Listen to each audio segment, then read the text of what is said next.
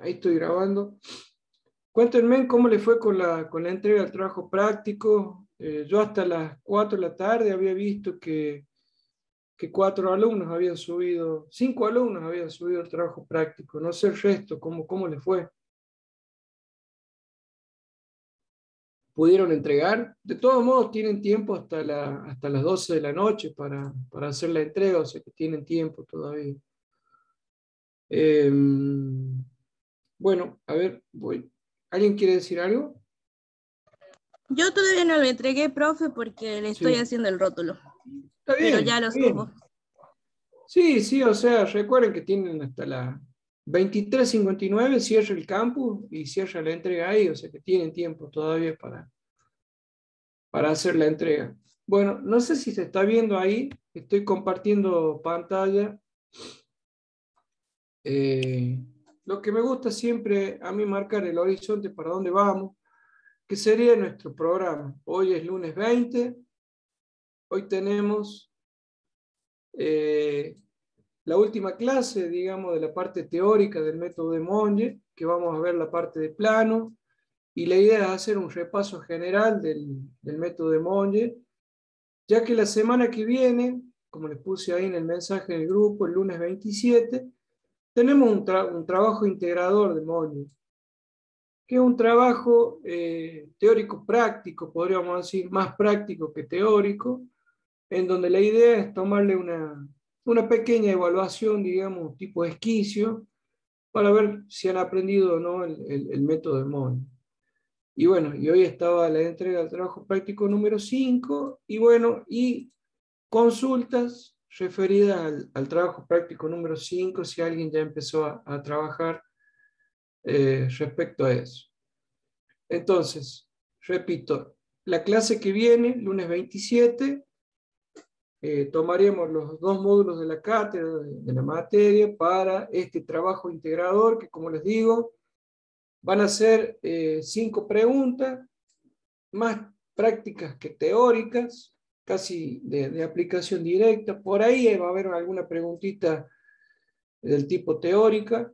Más que todo, van a tener que resolver ahí unos ejercicios. Más que todo es demostrar si ustedes conocen lo que es una recta horizontal, lo que son las trazas de una recta, eh, ubicar puntos en los cuadrantes y determinar sus cotas y alejamientos.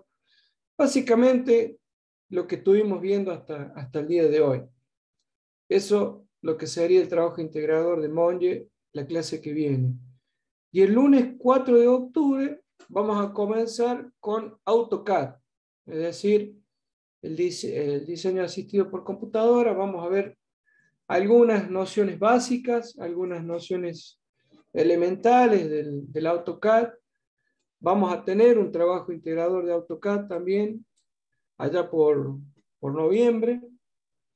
Y en alguna de estas clases de AutoCAD, en alguna de estas clases de AutoCAD, eh, voy a incorporar a un colega, un arquitecto, un arquitecto conocido que está en un, Estamos conformando un, aula, un gabinete BIM en, la, UTN y uno de los profes que va a estar ahí, el arquitecto Claudio Bengolea, él les va a dar un poco de lo que es Revit, que es un nuevo programa de, Autodesk que es bastante poderoso y bastante, bastante lindo que ustedes con el tiempo lo vayan, lo vayan aprendiendo a manejar. Conmigo van a ver un poco de AutoCAD y yo les voy a comentar un poco de lo que es el AutoCAD Civil también. ¿Profe? Sí, desde... Sí. Eh, ¿Dónde lo pasa el AutoCAD o lo tengo que instalar a nosotros?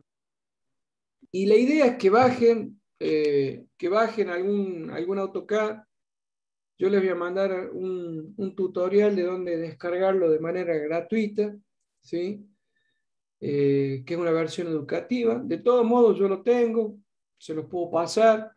O si alguien lo tiene ya instalado, bienvenido sea, o si lo piden. Eh, yo, por ejemplo, me compré una computadora y me pasó también de instalar el AutoCAD, que usted se saca la licencia estudiantil en Autodex. Para que se la den, que el comprobante de alumno regular, o si no lo tienen, yo subí, eh, porque no me lo habían dado todavía, había subido del cursillo y así me dieron la licencia y yo me manejo con eso. Bueno, y puede descargar eh, todos los que maneja Autodesk con la misma licencia. Ese es, ese es, ni más ni menos. Valentina, ¿cuál AutoCAD te puedes descargar? Disculpa, pregunto. Sí. Eh, yo tengo, me descargué el 2019. En español, ¿verdad? Sí. Ah, 10. Yo también, yo tengo una versión, yo tengo una versión en inglés, pero básicamente pueden, eh, pueden usar una versión en español, que es más sencilla. Pero, pero básicamente cualquier AutoCAD que tengan instalado va a servir, porque vamos a utilizar comandos muy, muy elementales, muy básicos. ¿Con un 2007 está bien, profe? ¿O sí. más? No, no, está, está bien. ¿2017 decís vos? 2007, profe. No, 2007. 2007 también puede andar, sí. 2007 sí, también sirve 2007. Porque vamos a utilizar comandos muy básicos que todo AutoCAD lo tiene. Es más, yo hasta, hace, hasta el año pasado estaba usando el AutoCAD 2011 y ahora pasé a un AutoCAD 2014. Eh, básicamente todos tienen los mismos comandos, o sea, vamos a utilizar comandos muy básicos que, que les va a servir. De todo modo, como les digo, yo eh, en transcurso de esta semana, eh, tal vez se lo haga la semana que viene para no atorarlos tanto con el, con el tema Monje, prefiero que, que estudien el método de Monje para la semana que viene. Y la semana que viene yo les voy a pasar un, como un tutorial de cómo descargar el, ese que dice Valentina, que es de la página de Autodesk, bajan una versión educativa, hacen un registro, digamos, crean un usuario y ustedes descargan el, el instalador para, para poder instalarlo en sus computadores. ¿eh? Y el que no tenga, bueno, me, me dice cómo, cómo vamos a hacer con, con esa persona. ¿Todos tienen computadora? Alguien que Eh, no por mi tenga... parte, sí, profe. Todos tienen computadora. Yo sí, profe. Sí, creo, creería que sí. Alguien que no tenga computadora. Creo que me conviene no tener, profe, mejor a manito nomás. No, Sí tengo, yo O sea, si te comes no tener, ya, ya, dije- ya, ya me estás ha- haciendo saber que tienes computadora. Así que, no, no. Y los que no ver. tienen, profe, ¿qué van a hacer? a Y- manito lo va No, no, lo Dependiendo, vamos a- lo vamos a dependiendo de lo que diga, tenemos o no tenemos como, profe. A ver, la idea es que todos, la idea es que todos hagan una práctica porque recuerden que van a tener una evaluación de, de AutoCAD. Así que, Sí. a ver. Y de bueno, profe. ¿Cómo? De Ready también lo va a enseñar, profe, ¿no? No, no, a ver, va- a ver, eh, recuerden que tenemos tres clases para dar AutoCAD. Yo AutoCAD lo uso desde el año 98. O Oh, sea, hagan número. Oh, Eh, oh. No van a aprender. Ojo, ¿Lo usa, es profe, todo bien? quiera tirar mala onda, ¿no? Pero es muy, es muy, es muy pocas clases, en tres clases que ustedes pueden aprender eh, la potencialidad del AutoCAD. La idea es que ustedes lo instalen al programa y bueno, comiencen a, a ver tutoriales o hacer algún curso de AutoCAD. Eh, la idea es que todos en algún momento lo aprendan a usar el AutoCAD porque es muy, muy importante. El AutoCAD es un programa de Autodesk, que es la, fábrica, digamos, quien lo, quien lo produce, y Autodesk fabrica muchos tipos de AutoCAD. El AutoCAD Civil 3D es un, es un- es un programa netamente para aplicación de tipo lineal, para obras lineales. A nosotros los civiles nos viene muy bien para lo que es la parte de obras viales, nos viene ideal. Yo lo uso bastante en la empresa donde yo trabajo. Eh, sirve para todo lo que es canales, cañería, etc. El Revit es más para una aplicación de arquitectura, estructura, tiene su parte de instalación, es decir, hay, un abanico de programas tan, tan grande que, bueno, la idea es que ustedes el día de mañana o a través del gabinete este BIM que se está formando en la UTN, comiencen a, a insertarse en los programas, ¿no? Ahora, esta materia no es para dar programas, es para que ustedes sepan que existe y sepan la, la potencialidad que tiene un programa, ¿no? Pero la idea es que, que, bueno, ustedes de a poco se vayan, se vayan insertando en el programa, ¿no?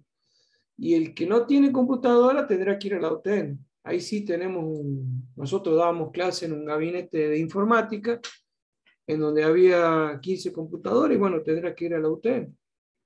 Antes lo hacíamos así.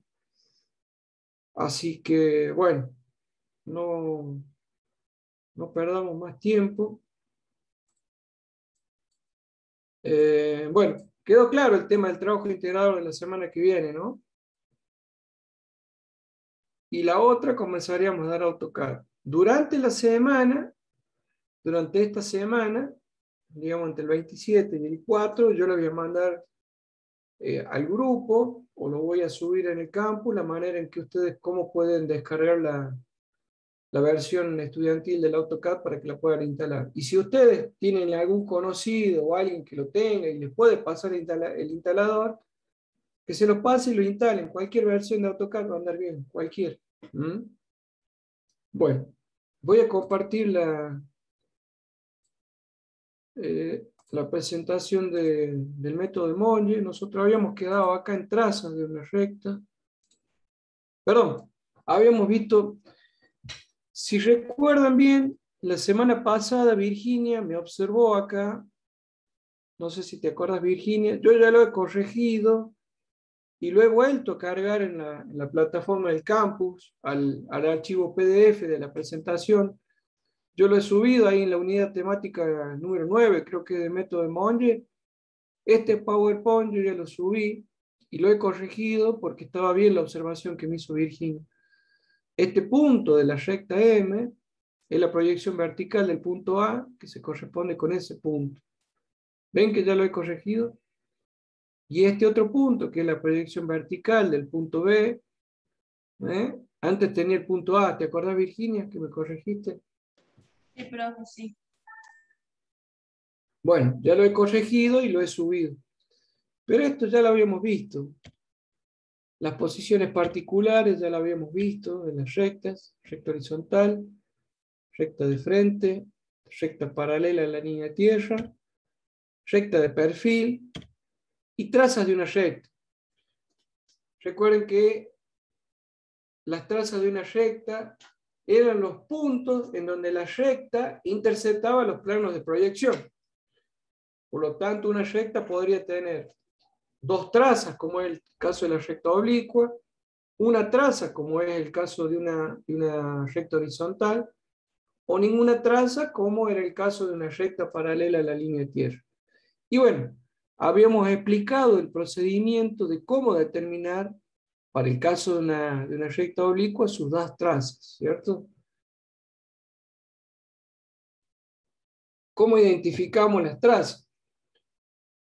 Si era una recta oblicua, interceptaba a los planos de proyección en dos puntos, entonces teníamos dos trazas, una traza vertical y una traza horizontal. Y bueno, acá estaban las condiciones. Podríamos decir como una condición de borde en análisis matemático. Entonces, si va a ser una traza horizontal es porque está contenida en el plano horizontal, por lo tanto tiene cota cero. Esa era una condición. ¿sí? Y la traza vertical, que es un punto que está contenido en el plano vertical, no va a tener alejamiento. Y bueno, y ahí aplicábamos un procedimiento que lo veíamos mejor en el depurado. ¿sí? Fíjense, para obtener la traza horizontal, yo busco un punto que tenga cota cero. Recuerden que estamos trabajando en el primer cuadrante.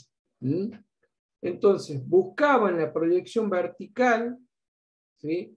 un punto que tenga cota cero. ¿Y cuál va a ser ese punto? Y bueno, el punto que esté sobre la línea tierra. Entonces, ahí bajaba con una línea de referencia hasta interceptar la proyección horizontal, que es esto que está haciendo acá. Esa intercepción entre la línea de referencia, que parte del punto que tiene cota cero, y la proyección horizontal de la recta, me determina la ubicación y posición de la traza horizontal de la recta oblicua. ¿sí? De igual manera, trabajamos para determinar la traza vertical. Así que si yo les pido determinen las trazas de la recta oblicua que se ve en la figura, ustedes me van a hacer este procedimiento y me van a marcar estos dos puntos. ¿sí? También si quieren lo pueden hacer en el espacio, pero si yo les pido en el epurado, es decir, en la vista plana, determinen las trazas, ustedes me van a determinar dos puntos, porque es un recto oblicuo. ¿Se dan cuenta de eso, no? Bueno, esto lo voy a pasar. Acá teníamos las trazas de una recta horizontal. Recuerden, si es una traza, una, una, una recta horizontal, es paralela al, plano horizontal, no lo intercepta al plano, al, plano, horizontal, por lo tanto va a tener una sola traza, que es la traza vertical. Ahí habíamos explicado en la clase pasada cómo determinar el procedimiento. Que si quieren lo vamos a repasar, pero me interesaría terminar con Bonje dando la parte de plano, que es esta parte que viene a continuación. Recuerden la primera clase de, del método de Monge que habíamos comentado que las formas geométricas de los cuerpos se pueden definir a través de un punto, de una recta y a través de un plano. Un plano queda definido de la siguiente manera, por tres puntos en el espacio, por un punto y una recta, por dos rectas paralelas o bien dos, dos rectas concurrentes que se corten en el espacio. Es decir, fíjense en acá. Yo les digo que para determinar un plano hacen falta dos rectas concurrentes. Fíjense en que acá tengo una recta A, ¿la ven ahí? Y tengo una recta B, que aparentemente se intersectan en el espacio en un punto A. ¿Y cómo sé que se, que se intersectan en el espacio? Y bueno, porque la línea de referencia ¿sí? que vincula las dos proyecciones del punto está, mejor dicho, me doy cuenta que se intersectan en el espacio porque tanto la proyección vertical del punto de intersección A y la proyección horizontal están sobre la misma línea de referencia. ¿Se dan cuenta? ¿Qué pasa cuando las rectas son concurrentes pero no, no, se intersectan en el espacio? Es decir, pasa esta situación. A ver, voy a dejar de compartir para que me vean, me vean a mí. Dos rectas que se ¿Me están viendo ahí? Dos rectas que ¿sí? dos rectas que se intersectan en el espacio, ¿sí? O sea, que hay intersección en las dos rectas, forman plano. Ahí sí forman plano. Pero dos rectas que son concurrentes, pero que no se intersectan en el espacio, no forman plano. Que sería esta situación que yo le estoy mostrando acá. Ven que son dos rectas que concurren, ¿sí? Ya lo van a ver ahí en, el epurado. Pero ¿qué pasa? No, no se interceptan. Entonces no forman plano. ¿Sí? ¿Se dan cuenta de eso? Hay una recta, por ejemplo, que es este lápiz, y hay otra recta en el espacio que es el marcador. Forman plano cuando se intersectan en el espacio. No forman plano cuando no hay intersección. Eso son dos rectas aisladas que no forman plano. ¿Estamos hasta ahí? ¿Cómo me doy cuenta cuando no hay intersección? Cuando la línea de referencia que, vincula el punto de intersección no coincide. ¿Se dan cuenta acá? ¿Ven ahí? ¿Ven que la proyección vertical de la recta A y la proyección vertical de la recta B, a simple vista, en su proyección vertical, aparentemente se intersectan en el espacio. Pero si yo dibujo las proyecciones horizontales de esas rectas, ven que se intersectan en, puntos diferentes, por lo tanto, son rectas concurrentes, pero no se cruzan en el espacio, por lo tanto no forman plano. ¿Mm? Eso es importante que se den cuenta. Volviendo a la, definición de plano. Yo digo que se forma plano cuando cuando tengo tres puntos en el espacio, cuando tengo un punto y una recta, o bien cuando tengo dos rectas paralelas. Dos rectas paralelas, como es este caso particular que está acá, sí forman plano. O bien cuando tenga dos rectas concurrentes, que sí se interceptan en el espacio, sí se cortan en el espacio, forman plano. ¿Sí? Recuerden lo que les comenté anteriormente, lo que era la traza de una recta. Recuerden que las trazas de una recta eran los puntos en que esa recta interceptaba los planos de proyección. Acá tenemos el plano vertical de proyección y tengo el plano horizontal de proyección. ¿sí? Fíjense lo que dice acá de las trazas de un plano. Las trazas de un plano serán las rectas comunes al plano y a los planos de proyección. Es decir, son las rectas en donde el plano intercepta los planos de proyección. ¿Sí? Recuerden, cuando yo tenía una recta y esa recta interceptaba los planos de proyección, esos puntos donde interceptaban a los planos de proyección los denominábamos trazas. ¿Sí? Ahora bien, las trazas de un plano, fíjense la diferencia, van a ser las rectas en donde ese plano intercepta los planos de proyección. ¿Se dan cuenta? Voy a dejar de compartir para que lo veamos acá.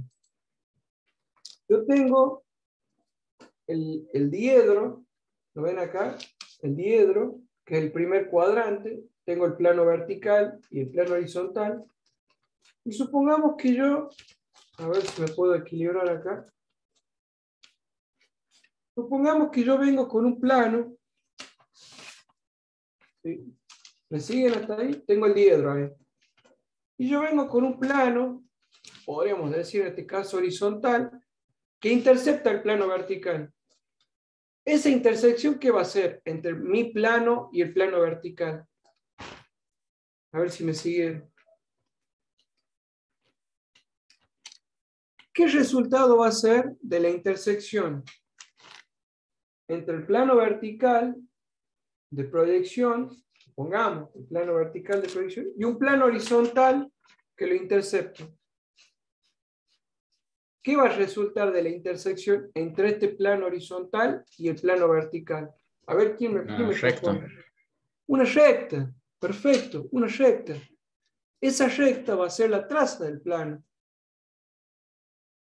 ¿Y la traza del plano cuál es? Justamente es la recta en la cual el plano, mi plano, intersecta algún plano de proyección. ¿Sí? Lo vamos a ver acá.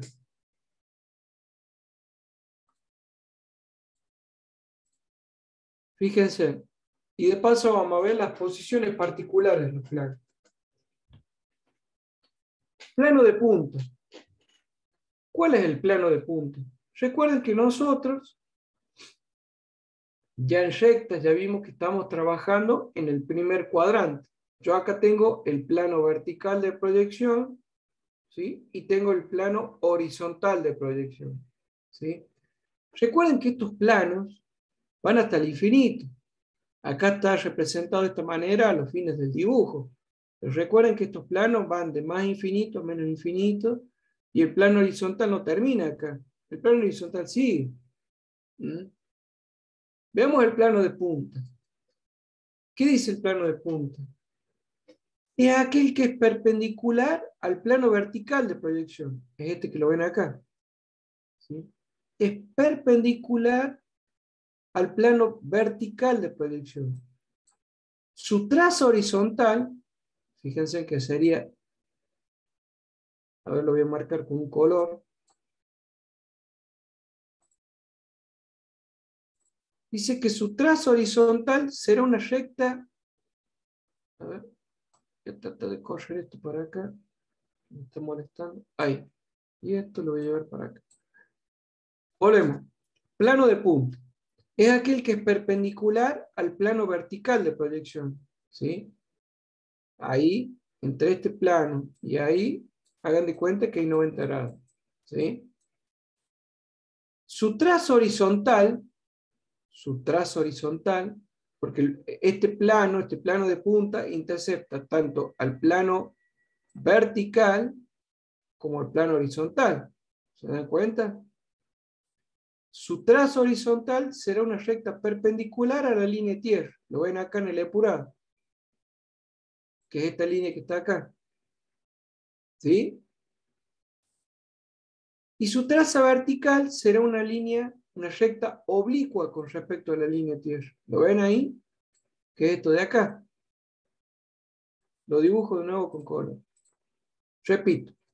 El plano de punta es el plano que es perpendicular al plano vertical de proyección. Su trazo horizontal, ¿sí? su trazo horizontal es perpendicular a la línea de tierra. Lo ven acá. Y su traza vertical, su traza vertical es una recta oblicua con respecto a la línea de tierra. ¿Se dan cuenta cómo el plano de punta? Ahí lo marqué con color en las trazas para que lo visualicen mejor. ¿Sí? ¿Se dan cuenta cómo es? Vamos con el plano vertical. ¿Qué dice plano vertical? El plano vertical es aquel que es perpendicular al plano horizontal de proyección. Es este que lo ven acá. Ahí, ahí hay 90 grados. Fíjense qué pasa con su traza. Su traza horizontal, ¿sí? Será una recta oblicua con respecto a la línea tierra. Acá la voy a marcar. A la traza, perdón. Viene por ahí la traza horizontal del plano vertical, ¿sí? Y la marco acá. ¿Sí? ¿Me van siguiendo? Y su traza vertical será una recta perpendicular a la línea de tierra. La voy a marcar con otro color, con un verde. ¿Sí? Esta es la traza vertical, ¿sí? Del plano vertical. En realidad sería la traza, la traza vertical, que viene a ser como la proyección vertical, es perpendicular a la línea de tierra. ¿Se dan cuenta? Fíjense que los planos tienen dos trazas hasta el momento. Tanto el plano de punta como el plano vertical tiene dos trazas. Tiene una traza vertical y una traza horizontal. ¿Estamos hasta ahí? ¿Se dan cuenta la diferencia entre un plano de punta y un plano vertical? Repito, el plano de punta es aquel que es perpendicular al plano vertical de proyección. ¿Sí? Su traza vertical es una recta oblicua con respecto a la línea de tierra. Lo ven ahí, con magenta. Y su traza horizontal es una recta perpendicular a la línea de tierra. Ahí está marcada con amarillo, que es. ¿Sí? En cambio, el plano vertical, el plano vertical es aquel que tiene la característica que es perpendicular al plano horizontal de proyección. Lo ven acá. Su traza vertical será una recta perpendicular a la línea de tierra y su traza horizontal será una recta oblicua con respecto a la línea de tierra. La ven ahí con color naranja. ¿Estamos hasta ahí? A seguir. A ver. Fíjense. A ver. ¿Qué pasa con estos dos planos? Plano de perfil. El plano de perfil es acá, el que ven dibujado acá. Estoy marcando con cursor, lo voy a marcar con un color, eh, un color lila. Este es el plano de perfil. Es aquel que tiene la condición, ¿cuál condición? Que es perpendicular a ambos planos de proyección. ¿Sí? sus dos trazas serán rectas perpendiculares a la línea de tierra y se cortarán en un punto de la misma. Fíjense, ahí tenemos el plano de perfil que tiene la condición de que es perpendicular a ambos planos de proyección, por lo tanto sus trazas serán rectas perpendiculares a la línea de tierra y se cortarán en un mismo punto, en ese punto. Y esta es la traza vertical y esta es la traza horizontal del plano de perfil. Recuerden que siempre estamos trabajando en el primer cuadrante, ¿no? En el primer cuadrante. ¿Sí? Fíjense qué pasa con un plano paralelo a la línea tierra. Es aquel que es paralelo a la línea de tierra. Lo voy a dibujar, lo voy a remarcar acá con un color marrón. Es este. ¿Sí? Este que estoy dibujando con color marrón es el plano paralelo a la línea de tierra. Y la línea de tierra, recuerden que la tenemos ahí atrás. ¿sí? La línea de tierra se daba, eh, surgía de la intersección entre el plano vertical y el plano horizontal de proyección. Es esta que marco con color rojo. ¿Qué pasa con el plano paralelo a la línea de tierra? Es aquel, dijimos, que es paralelo a la línea de tierra y sus trazas serán rectas paralelas a la línea de tierra. Las voy a marcar acá en el apurado con color marrón. Acá tenemos la traza vertical del plano horizontal, paralelo, el plano paralelo a la línea de tierra, perdón. Y acá abajo, por debajo de la línea de tierra, recuerden que estamos trabajando en el primer cuadrante, tendremos la traza horizontal del plano paralelo a la línea de tierra. ¿Sí? ¿Estamos hasta ahí? Recuerden, plano de perfil es aquel que es perpendicular a ambos planos de proyección. Sus trazas son rectas paralelas, eh, perpendiculares a la línea de tierra, lo ven acá con color lila, y sus dos trazas se cortan en un punto sobre la línea de tierra. Y después tenemos acá, remarcado con color marrón, el plano paralelo a la línea de tierra, que es aquel que es paralelo a la, a la línea de tierra, y sus trazas son rectas paralelas a dicha línea. Lo ven acá, remarcado con color marrón. ¿Me siguen hasta ahí? ¿Sí? ¿Puedo seguir? Sí, profe. Sí, profe. Sí, profe. Fíjense qué pasa con estos planos. Con el plano horizontal y con el plano frontal. El plano horizontal es aquel que es paralelo al plano horizontal de proyección. ¿Lo ven ahí? ¿Sí? El plano H. Por lo tanto, si es paralelo al plano horizontal de proyección, va a tener una sola traza. ¿Sí? Es decir, la traza vertical. Que esa traza será una recta paralela a la línea de tierra. A ver. Lo voy a remarcar con un color, con un color azul al plano horizontal. El plano horizontal es este que estoy remarcando acá con color azul. ¿Cuál es la condición que dice del plano horizontal? Que sea paralelo al plano horizontal de proyección. Por lo tanto, si es paralelo al plano horizontal de proyección, va a tener una sola traza. ¿Y cuál va a ser la traza si es paralelo al horizontal?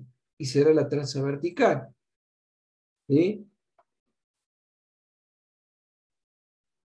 cuál va a ser la traza del plano horizontal? Será esta que voy a marcar acá con color verde, esta de acá, y será una recta que será paralela a la línea tierra. ¿Se dan cuenta? ¿Lo ven ahí? Esta, que estoy marcando acá en el epurado, es la traza del plano horizontal. Es una recta paralela a la línea tierra. ¿Lo ven ahí? Fíjense qué pasa con el plano frontal. El plano frontal lo voy a remarcar con un color verde. Es este que está acá. ¿Y qué condición tiene el plano frontal?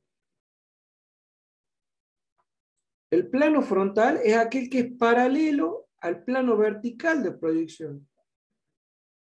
Por lo tanto, si es paralelo al plano vertical de proyección, va a tener una sola traza. ¿Y cuál va a ser la traza?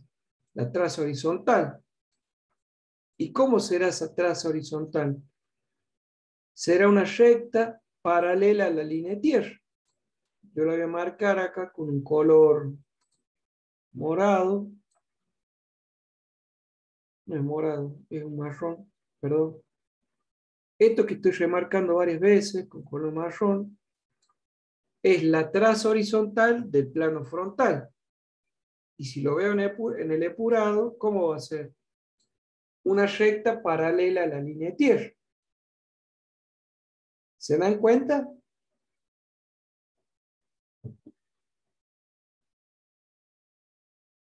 ¿Sí o no? Y yo creo que esta es la última filmina del método de. Sí. Básicamente, esta última parte era la parte del plano y las posiciones particulares de los planos en el espacio y la condición necesaria para formar plano. ¿Quieren que hagamos un repaso de lo que hemos visto hasta ahora? Recuerden que la clase, la clase que viene van a tener van a tener eh, un trabajo integrador, un trabajo eh, que va a englobar las tres clases que tuvimos del método de Monge, la parte de punto, la parte de recta y la parte de plano que vimos ahora. ¿Quieren que repasemos un poquito eh, lo que vimos ahora de plano? Y después volvemos a la parte punto. ¿Les parece bien? Volvemos un poco a plano. Yo acá les defino, les doy la definición de lo que sería un plano. ¿O cómo define un plano? Recuerden que una recta, ¿cómo se definía una recta? ¿Cómo define una recta? A ver, ¿quién me sabe decir? ¿Qué necesito para construir una recta? Es una sucesión infinita de puntos. Sí, pero vos, Imanol, vas a dibujar infinitos puntos. Supongamos que yo te diga, eh, defíname una recta.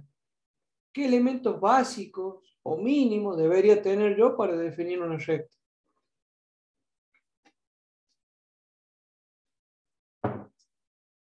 ¿Nadie va a llegar? Más de dos puntos, dos puntos. Si me, guío por lo, si, seguimos lo, lo, que propone Manuel, yo tendré que agarrar y ponerme a dibujar infinitos puntos. ¿Está bien lo que digo?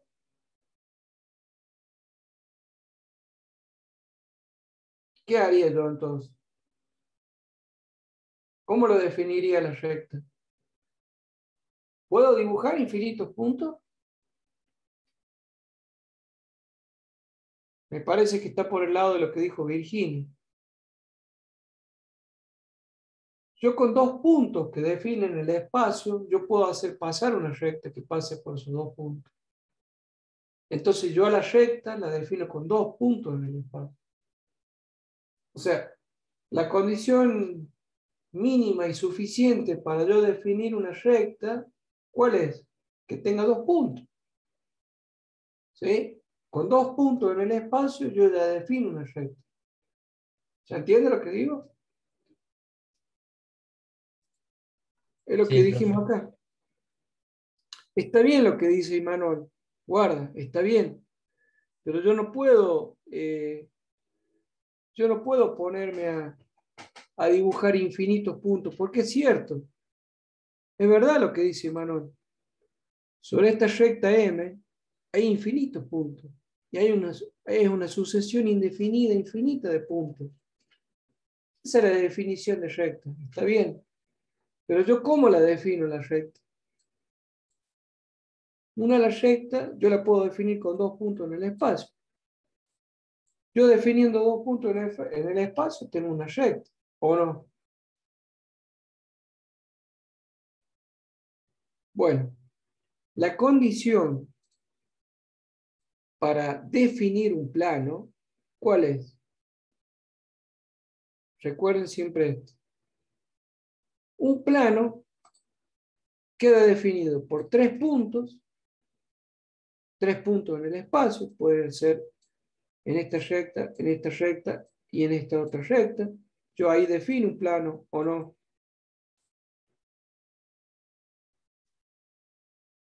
Puedo definirla por un punto y una recta. ¿Sí? Tengo una recta y tengo un punto. Tengo un punto A y tengo una recta B.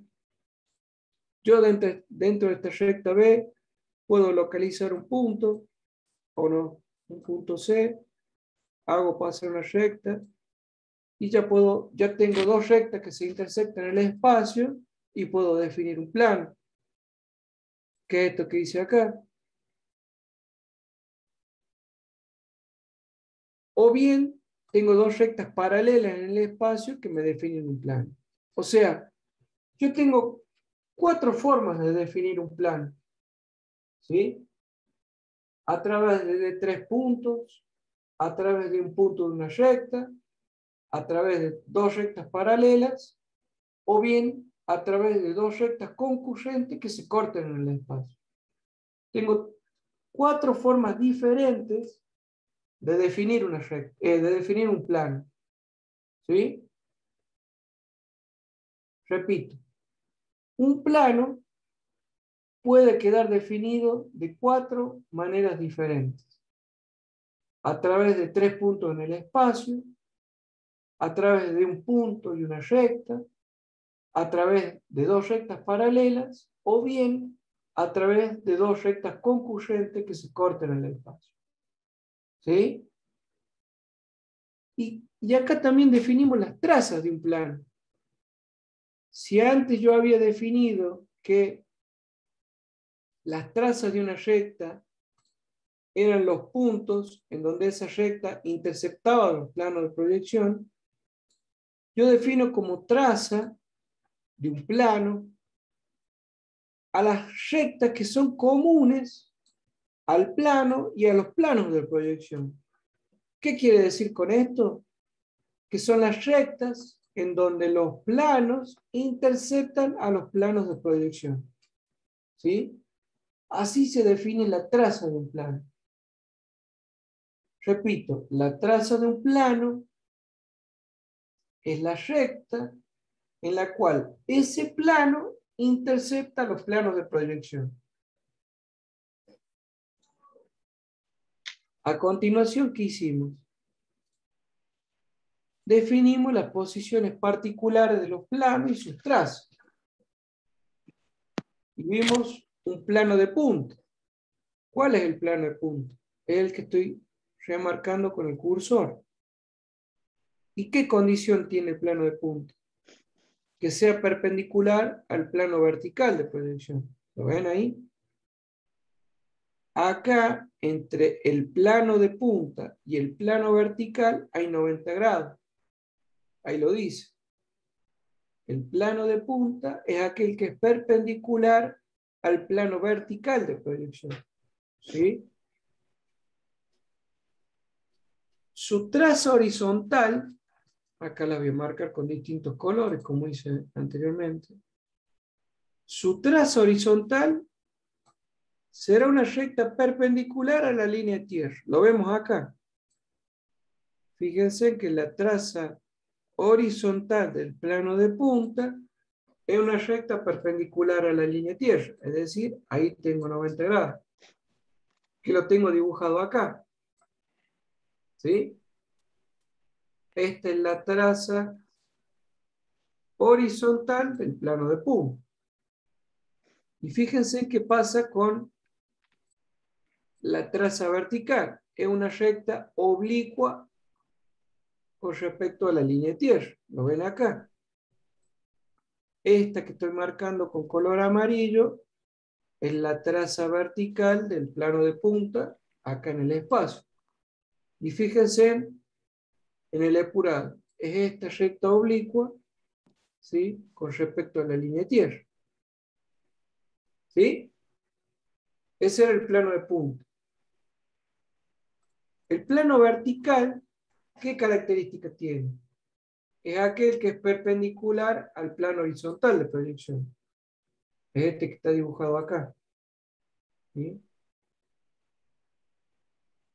Su traza horizontal será una recta oblicua con respecto a la línea tierra. La voy a marcar con color rojo. Esta que estoy remarcando acá es la traza horizontal del plano vertical. La marco en el apurado también. ¿Mm? Es una recta oblicua con respecto a la línea tierra. Y con color verde voy a marcar la traza vertical, que lo dice ahí.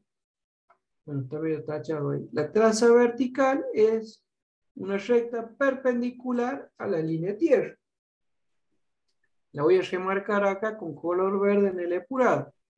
La traza vertical del plano vertical es una recta perpendicular a la línea tierra. Ahí tengo 90 grados. Y lo vemos acá en, en el espacio. Esta que estoy marcando con verde es la traza vertical del plano vertical. ¿Sí? Sigo. ¿Alguna pregunta hasta acá? Fíjense con el plano de perfil. Es aquel que es perpendicular a ambos planos de proyección. Voy a remarcar con amarillo. Al plano de perfil. En el espacio lo remarco con amarillo. Fíjense que dice con las trazas. Sus trazas serán rectas perpendiculares a la línea de tierra y se cortarán en un punto sobre la misma. Acá lo marco con amarillo a la traza vertical del plano de perfil y marco también con amarillo la traza horizontal del plano de perfil. Fíjese que son rectas perpendiculares a la línea de tierra y se cortan en un único punto que es el que estoy remarcando yo ahí. Ese era el plano de perfil. También tenemos acá el plano paralelo a la línea de tierra. ¿Qué condición tiene el plano paralelo a la línea de tierra? Es aquel que es paralelo a la línea de tierra. ¿Y sus trazas cómo serán? serán rectas paralelas a dicha, a dicha línea. Fíjense, acá lo marco con color azul. Esta será, la que estoy marcando acá, será la traza vertical del plano paralelo a la línea tierra. Lo marco acá. Y esta que está acá abajo, la remarco también con color azul será la traza horizontal ¿sí? del plano paralelo a la línea tierra. Y lo veo acá en el apurado. ¿sí? Esta recta, que es la traza horizontal del plano paralelo a la línea tierra, en el apurado es una recta paralela a la línea tierra. Sin lugar a dudas. ¿Estamos hasta ahí?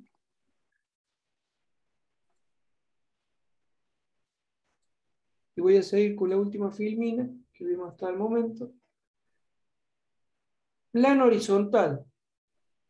El plano horizontal es aquel que es paralelo al plano horizontal de proyección. ¿Sí? Lo voy a marcar ahí con un color marroncito. Ese es el plano horizontal si es paralelo al plano horizontal de proyección, va a tener una sola traza, que es la traza vertical, la cual va a tener la característica de que esta es la traza vertical del plano horizontal, que la marco acá, será una recta paralela a la línea de tierra. ¿Se dan cuenta? ¿Y qué pasa con el plano frontal?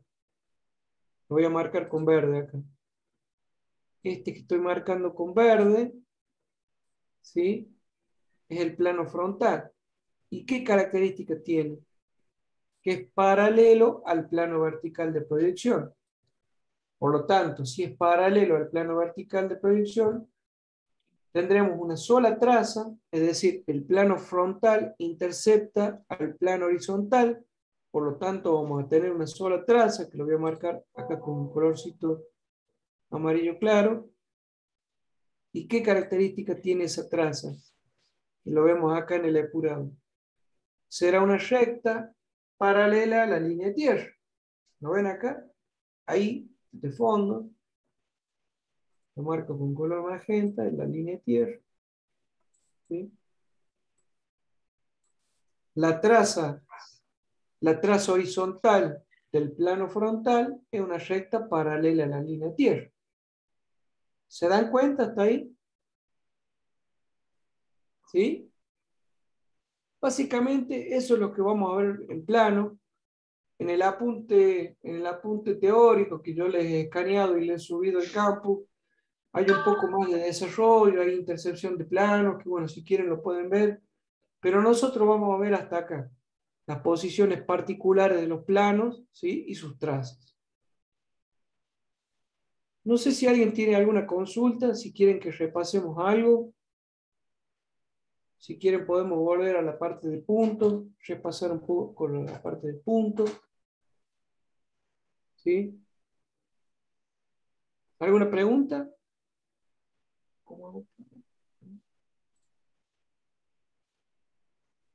Hola, Arqui. No sabía que Hola, ¿cómo anda? ¿Todo bien? Bien. Vimos la parte de, plano y sus posiciones particulares. Ajá, estaba viendo, sí. Eh, no sé si quieren que hagan un, un repaso. ¿Alguna consulta? ¿O todos entendieron? Sobre plano se entendió bien, profe. ¿Se entendió bien? ¿Quieren que repasemos un poco la parte de punto y la parte recta?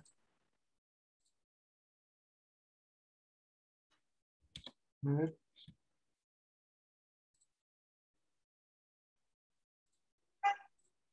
Ustedes tendrían el, integrador de todo esto de, de el lunes 27. el lunes que viene, la idea es tener el trabajo integrador que que ya lo tengo cargado ¿no? en, el, en el campus. Van a ser cinco preguntas más prácticas que teóricas. ¿Sí? La idea es que ellos los resuelvan en clase y lo carguen en la plataforma del campus. ¿sí? Sí, este, por eso sería oportuno, bueno, si tienen alguna duda. Yo voy a volver. ¿No puede dejar algunos ejercicios para practicar? Es que no hay muchos ejercicios de, de Monge. Eh, básicamente, em, la idea es que ustedes em, sepan de dónde vienen, ¿sí? Todo esto. A ver, yo lo que les comento es lo siguiente. El, el trabajo integrador va a estar basado 100% en esta filmina. O sea, no le voy a tomar otra cosa que no esté dado en esta filmina. Claro, con lo de clase nomás, con el apunte de clase. con el apunte de clase es más que suficiente como para que ustedes estudien, siempre apoyándose en el apunte teórico, ¿sí? Siempre apoyándose en el apunte teórico. Y básicamente lo que estuvimos viendo acá es lo que yo le, o, la arquitecta les va a tomar la clase que viene. ¿Cuántos modos de proyección conocen? ¿Sí? ¿Cuántos modos de proyección conocen? Básicamente. Recuerden que teníamos lo que serían las, proyecciones cónicas o perspectivas y las proyecciones cilíndricas o paralelas, que es nuestro fuerte. Recuerden. ¿Estoy compartiendo yo pantalla? No, ahora no. Ah, no, perdón. Perdón, perdón. Ahora sí. Ahora Les comentaba que les comentaba que nosotros teníamos dos familias de, proyecciones, ¿sí? Teníamos eh, una proyección cónica o perspectiva y teníamos las proyecciones cilíndricas o paralelas. Estas de acá se las se la dejamos a los arquitectos que ellos las manejan muy bien. ¿sí? Pero nuestro fuerte como técnico, como ingeniero, es este. ¿sí? Las proyecciones ortogonales, por un lado, y las proyecciones oblicuas, ¿sí? Que lo vemos bien acá. A ver, voy a volver una filmina anterior. Acá. Acá donde vemos la, la principal diferencia en los modos de proyección. Acá a la izquierda tenemos la perspectiva o la proyección cónica, en donde el observador está en un punto y los rayos proyectantes parten de ese punto donde está situado el observador. Esa es la diferencia fundamental de la familia de las perspectivas, de las proyecciones cónicas o perspectivas. Y del lado derecho tenemos las proyecciones cilíndricas o paralelas. Y dentro de estas familias, dentro de esta familia de proyecciones, tenemos por un lado las proyecciones ortogonales, ¿sí? En donde fíjense en que el observador está situado en el infinito, ¿lo ven ahí? El observador está situado en el infinito y los rayos proyectantes son paralelos entre sí y perpendiculares ¿sí? al plano de proyección. Esto que estoy marcando con color amarillo son los rayos proyectantes que pasan por este plano, por este cuerpo, y se proyectan sobre este plano, que lo ven acá abajo, lo voy a marcar en color eh, magenta. Acá hay 90 grados. ¿sí? Esas son las proyecciones ortogonales. Y por otro lado, tenemos las proyecciones oblicuas. Que la, la principal diferencia, ¿cuál es? Que esos rayos proyectantes ¿sí? son oblicuos con respecto al plano de proyección. ¿Se dan cuenta ahí? En ambas situaciones, el observador está en el infinito y los rayos proyectantes son paralelos. ¿Se dan cuenta? Pero ¿cuál es la principal diferencia? En que uno, la proyección ortogonal, los rayos proyectantes son normales al plano de proyección. En cambio, la proyección oblicua, los rayos proyectantes son oblicuos con respecto al plano de proyección. ¿Se dan cuenta ahí? Ahí tenemos una, principal diferencia. Y en la filmina que seguía, bueno, acá yo les comentaba un poco que era una proyección cónica, que yo les decía que los arquitectos eh, eh, lo manejan muy bien esto. No lo vamos a ver acá en este curso, pero el fuerte de los arquitectos es este. En cambio, nuestro fuerte, fíjense que yo acá la dejo solita, las proyecciones cónicas, y hago como una subdivisión, que es lo que estuvimos viendo hasta el momento, hasta la fecha de hoy, las proyecciones paralelas o, las proyecciones eh, cilíndricas, en donde teníamos las proyecciones ortogonales, como estábamos viendo hasta recién, y las proyecciones oblicuas. Dentro de las proyecciones oblicuas teníamos la proyección caballero. Recuerden, la proyección, la proyección eh, caballera, oblicua, ¿sí? Y teníamos también, dentro de las proyecciones ortogonales, la proyección de múltiples vistas, ¿se acuerdan? La, la proyección con el método ISO-A o ISO-E. ¿Recuerdan esto? Que lo vimos en los esquicios. Y dentro de la proyección ortogonal, tenemos por acá, ¿sí? la proyección diédrica o el método de Moll. Y también tenemos acá la proyección, la proyección axonométrica con los tres tipos diferentes que habíamos visto hasta el momento. ¿Sí? Lo que nos interesó ahora fue esta proyección de Moll, que es lo que vimos hasta, hasta la fecha, que es lo que empezamos a desarrollar en las clases pasadas. ¿Sí? Acá habíamos visto lo que era el fundamento de la proyección diédrica, ¿sí? Teníamos un plano de proyección y teníamos, por ejemplo, un punto en el espacio. ¿Y cuál es el fundamento de la proyección diédrica? Que es una proyección ortogonal. Que pasa un rayo proyectante por ese punto en el espacio y la intersección entre ese rayo proyectante y el plano de proyección me determinaba la proyección del punto proyectado en ese plano. Eso es básicamente el concepto fundamental de la proyección diédrica o proyección de Moni. ¿sí? Después habíamos visto eh, cómo se componía el diedro. Teníamos un plano vertical, ¿sí? un plano horizontal. Estos dos planos se interceptaban a 90 grados la intersección entre, dos, entre esos dos planos me formaba o me generaba lo que se denominaba la línea tierra.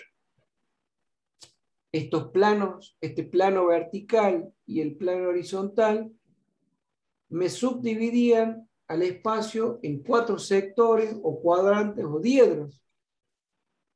Numerábamos al primero, el extremo superior derecho, como el primer cuadrante, y lo seguíamos numerando en sentido antihorario, ¿sí? segundo cuadrante, tercer cuadrante y cuarto cuadrante. ¿Sí? ¿Me siguen hasta ahí? Hasta ahí estoy repasando lo que vimos en la clase pasada. El método de se, se basaba básicamente en un movimiento de uno de los planos. Lo pongo acá abajo. Recuerden, ¿qué pasaba? Para pasar de la vista, para pasar de la, de, la situación, recuerden que básicamente, a ver, me voy a volver a la primera filmina, si usted me lo permite. ¿Qué estoy buscando yo con los métodos de proyección? ¿Qué estoy buscando con los métodos de proyección? ¿Qué estoy buscando con los métodos de proyección? Esto. Pasar de la situación real, del objeto real, del objeto en el espacio, ¿sí? A una situación bidimensional. Es decir, pasar de una situación en el espacio donde tengo un cuerpo en 3D representarlo en una situación bidimensional, en un plano. Esto no quiero que pierdan, que no pierdan la, idea de cuál es el objetivo del método. Pasar de una situación espacial, porque yo tengo un, un cuerpo en el espacio, que en algún momento yo lo quiero fabricar. Y, lo, y para poderlo fabricar yo tengo que confeccionar un plano. Y para confeccionar un plano yo tengo que generar una vista bidimensional del, objeto, ¿o no? Para ver la real magnitud. Entonces, ese paso entre la situación tridimensional a una situación bidimensional, básicamente es lo que persigue el método de Moll, que es un método ortogonal. ¿Sí? ¿Me siguen?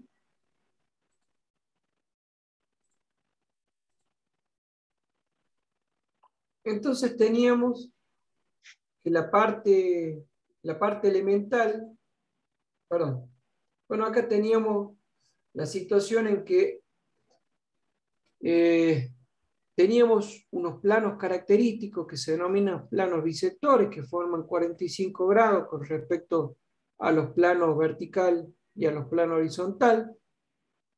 Esos planos bisectores el plano, el primer plano bisector parte del primer cuadrante hacia el tercer cuadrante y el segundo plano bisector pasa del segundo cuadrante al, cuarto cuadrante.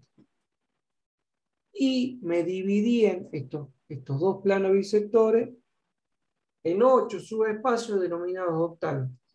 ¿Sí? ¿Qué pasaba? ¿Qué pasaba con el, con el método de Monge. Yo acá tengo una situación espacial, como dice acá. Yo tengo, correr esto. Yo tengo una situación espacial, tengo un cuerpo en el espacio, ¿sí? Y yo para poderlo fabricar o para poder, eh, poder tenerlo manuscrito, podríamos decir, yo tengo que generar un plano, porque los planos están en dos dimensiones, ¿o no? Entonces, a través de un movimiento, luego de generar las proyecciones, por supuesto, ¿no? De, ese cuerpo en el espacio, yo a través de un movimiento característico de una operación convencional, denominado abatimiento, ¿qué hacía? Hacía girar el plano horizontal de proyección, ¿sí? En un sentido antihorario, ¿sí? hasta confundir el plano horizontal con el plano vertical. ¿Lo ven acá? ¿Lo ven ahí? Hasta confundirlo con el plano vertical. Y de esta manera, de esta manera generaba la vista bidimensional. ¿Se dan cuenta o no? ¿Me siguen hasta ahí? Entonces, si yo acá, supongamos que acá había dibujado la proyección vertical del cubo, y ya acá tengo dibujada la proyección horizontal del cubo. Tengo dibujado acá. Acá tengo la proyección vertical del cubo, y acá en el plano horizontal que se está rebatiendo, tengo la proyección horizontal. Luego que se rebate, el plano horizontal se confunde con el vertical, ¿sí? Y tengo la vista plana. Lo veo acá. ¿Se dan cuenta o no? ¿Se dan cuenta este, este movimiento? Pasar de acá a acá. Esto es 3D, y esto es 2D. ¿Sí? Fíjense, lo dice ahí, es un proceso reversible. es decir, yo puedo pasar del espacio al plano y del plano al espacio. ¿Sí? Es el concepto del método. ¿Se dan cuenta o no?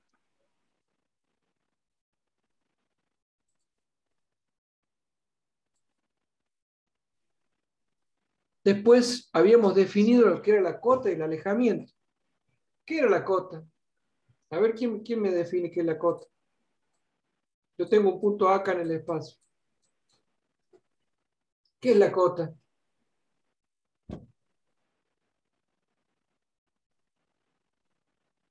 ¿Qué es la cota? Ninguno se acuerda.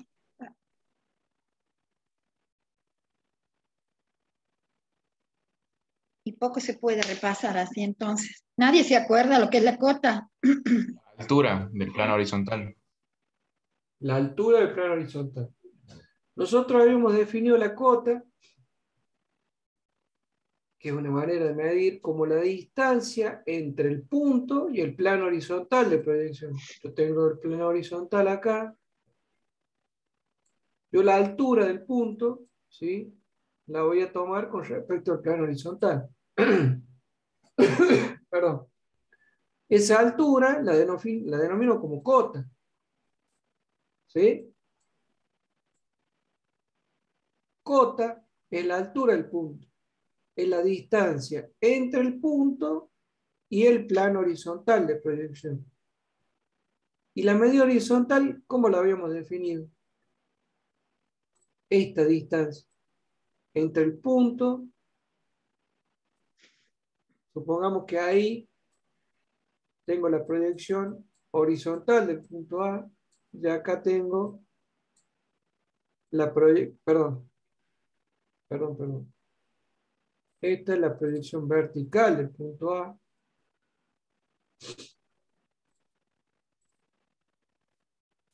Y esta es la proyección horizontal del punto A. ¿Cómo se llama la distancia entre el punto y su proyección vertical? Esta distancia horizontal, ¿cómo la definimos? Alejamiento. Alejamiento. Muy bien. Alejamiento es la distancia entre el punto y el plano vertical de proyección. Y también le habíamos definido signo, tanto a la cota como al alejamiento.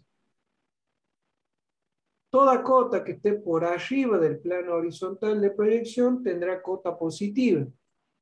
Todo lo que está por debajo del plano horizontal tendrá cota negativa. De la misma manera, habíamos definido el signo del alejamiento. Todo lo que está por delante del plano vertical de proyección tendrá cota positiva. Y todo lo que está por detrás del plano vertical de proyección tendrá alejamiento negativo. ¿Sí? Después, ¿qué hicimos? Definimos puntos.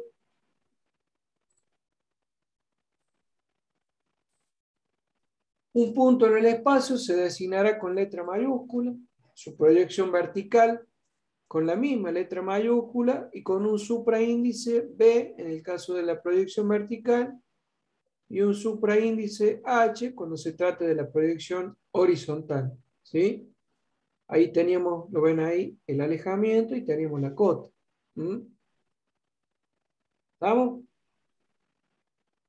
Acá teníamos la representación de un punto en los distintos cuadrantes. ¿sí? Teníamos un punto A, por ejemplo, teníamos la cota, teníamos el alejamiento y lo veíamos acá en el epurado. ¿sí? Si estamos en el primer cuadrante, la proyección vertical va a estar por arriba de la línea de tierra y la proyección horizontal va a estar por debajo de la línea de tierra. ¿sí? Fíjense qué pasaba con un punto B. Un punto B que estaba en el segundo cuadrante tenía cota positiva, alejamiento negativo y las dos proyecciones quedaban por arriba de la línea de tierra. ¿Recuerden? Porque si rebate el plano horizontal, a ver, si este plano, estoy marcando con rojo, gira y se confunde con el vertical, es decir, esta proyección horizontal que está contenida en el plano horizontal pasa para, arriba.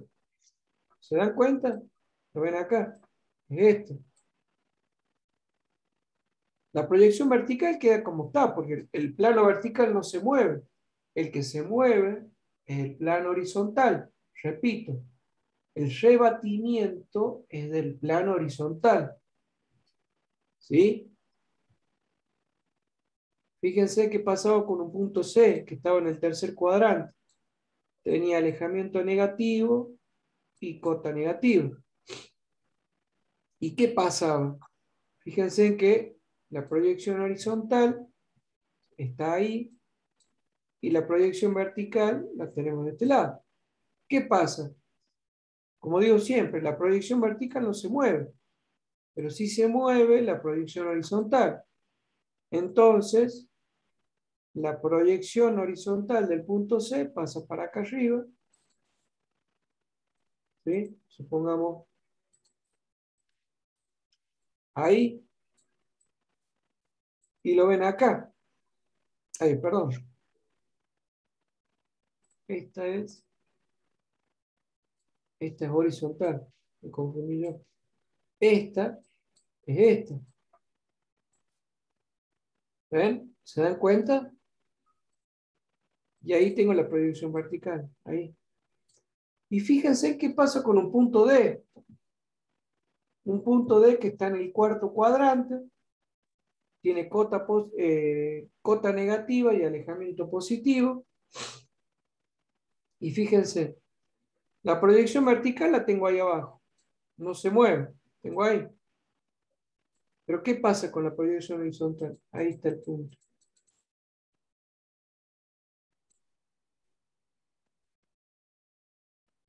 Fíjense, cuando se produce el rebatimiento, la proyección horizontal del punto D pasa para abajo.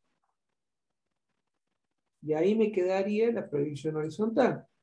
¿Lo ven ahí? Ahí está. ¿Se dan cuenta de eso?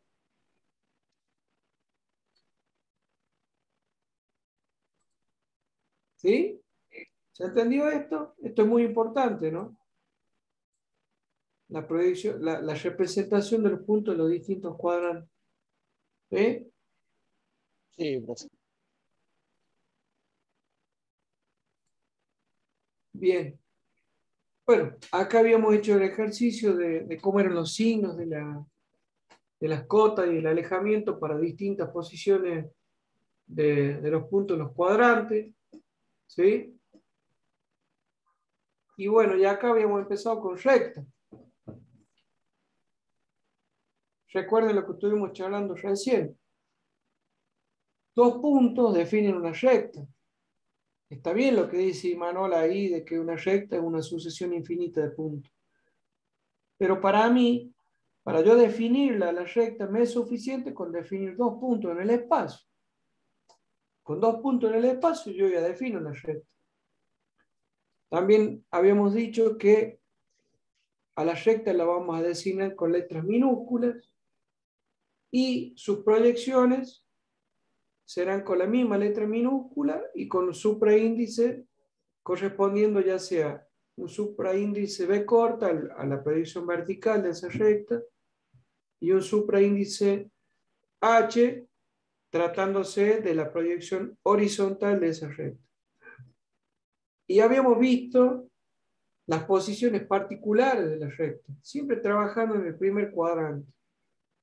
Habíamos visto una recta oblicua, la recta oblicua tenía la condición de que era oblicua a ambos planos de proyección. Lo ven acá en el espacio. Recta oblicua es aquella que es oblicua a ambos planos de proyección. ¿Y sus proyecciones cómo serán? Oblicua con respecto a la línea de tierra. ¿Lo ven acá? ¿Qué pasa? Si yo prolongo, recuerden que las rectas van hasta el infinito pasan, ¿sí? Ahí forma un ángulo, alfa, es oblicua con respecto a la línea tierra.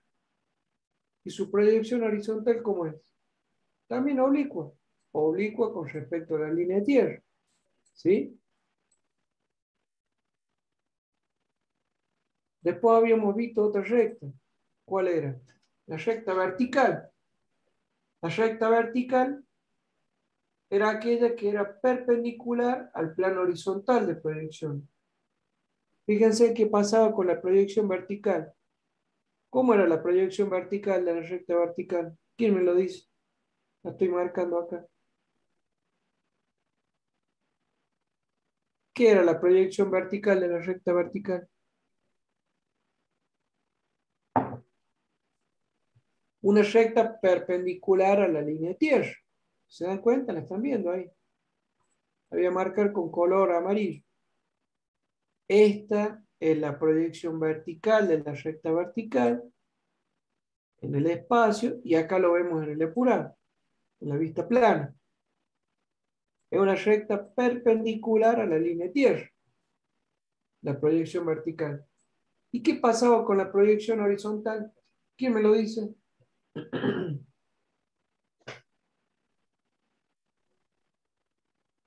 ¿Están ahí? No, no. La proyección horizontal de la recta vertical se confundían en un punto. ¿Sí? Esto que se ve con línea de trazo es la línea de referencia. ¿eh? No se vayan a confundir. Es esta línea de referencia.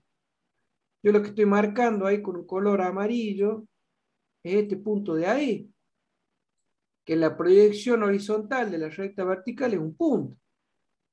¿Se dan cuenta de eso o no? sí, profe. el que no entienda, por favor, diga, ¿no? A ver. A ver, voy a hacer. ¿Lo ven acá? A ver. Yo tengo un diedro. ¿Sí? A ver si me ven ahí. Plano vertical, plano horizontal. La recta vertical, la estoy marcando acá con un lápiz, es perpendicular al plano horizontal. ¿Sí? Cuando rebate el plano horizontal, ¿sí? Quedó. ¿Qué pasa con la recta, la recta vertical? Se ve a la vista plana. Me voy a parar. Quedaría como un punto nada Claro, se confunde, ¿lo ven? Se confunde en un punto la proyección. ¿Se dan cuenta o no? Y miren qué pasa con la recta de punto. Me voy a poner acá así. Yo tengo una recta de punta. ¿Cuál es la recta de punta? Me estoy adelantando. Es aquella que es perpendicular al plano vertical. ¿Sí? La recta de punta. ¿Y qué pasa con la recta de punta? Cuando rebato y hago la vista plana. Pasa lo mismo. La proyección vertical de la recta de punta es un punto. ¿Se dan cuenta de eso o no? ¿Me siguen o no? Sí, profe. Espero que sí, porque están mudos. Che, Arqui, esta, promoción es muy... Sí, no participan, ¿no? qué pena, porque bueno, uno sabría con qué. A ver, voy a, seguir, voy a seguir compartiendo. Yo me acuerdo que la otra promoción era más charlatanes, preguntaban. No, la otra, bueno, elegí vos al azar y preguntas. Vamos a ver si así es peor, me parece. Ahí está la recta de punta que le estaba diciendo recién. Fíjense, la recta de punta es perpendicular al plano, al plano vertical de proyección. ¿Lo ven ahí? Su proyección horizontal, ¿sí? Su proyección horizontal, la voy a marcar con azul. ¿Cómo es la, la proyección horizontal? Una recta perpendicular a la línea de tierra. ¿Sí? ¿Se dan cuenta o no? ¿Y cómo es la proyección vertical de la recta de punta? Lo habíamos visto recién. Es un punto. Es un punto ahí. No se vayan a confundir con esa línea de trazo. Esa línea de trazo es la línea de referencia. La proyección vertical de la recta de punta es un punto, lo, remarco bien para que se den cuenta. ¿Sí? Por favor, si yo les pregunto, define una recta de punta y dibujen el espacio en el epurado, no, no me dibujen una cosa así.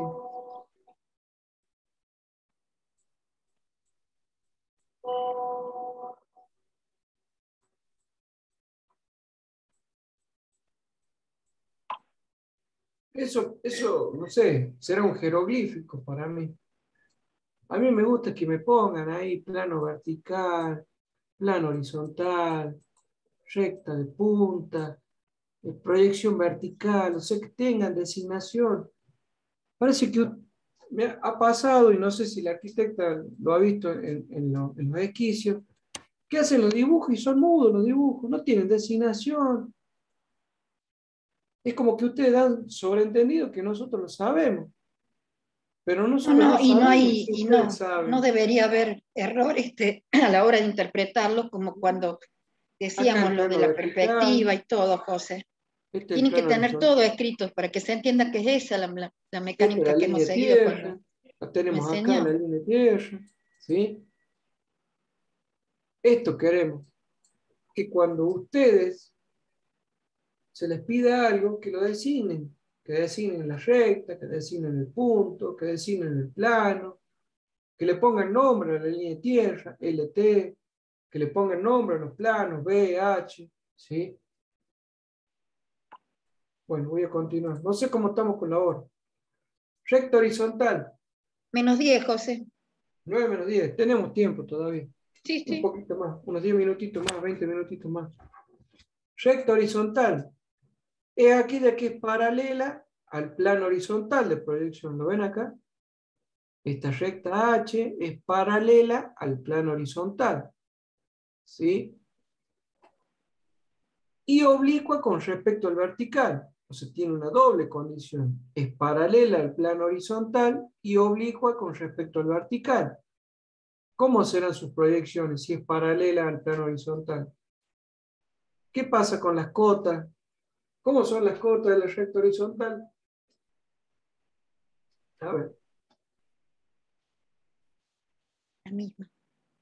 A ver, voy a buscar acá de la lista. Ah, vos tenés la lista, yo no puedo verla, no sé por qué. Eh, volvete a la, a la pantalla. A ver. Tapia Gastón. ¿Está Tapia? Tapia. Aparece ahí como que está, ¿no? Está, pero no está. A ver, ¿por qué? Necesitaría que encienda las cámaras.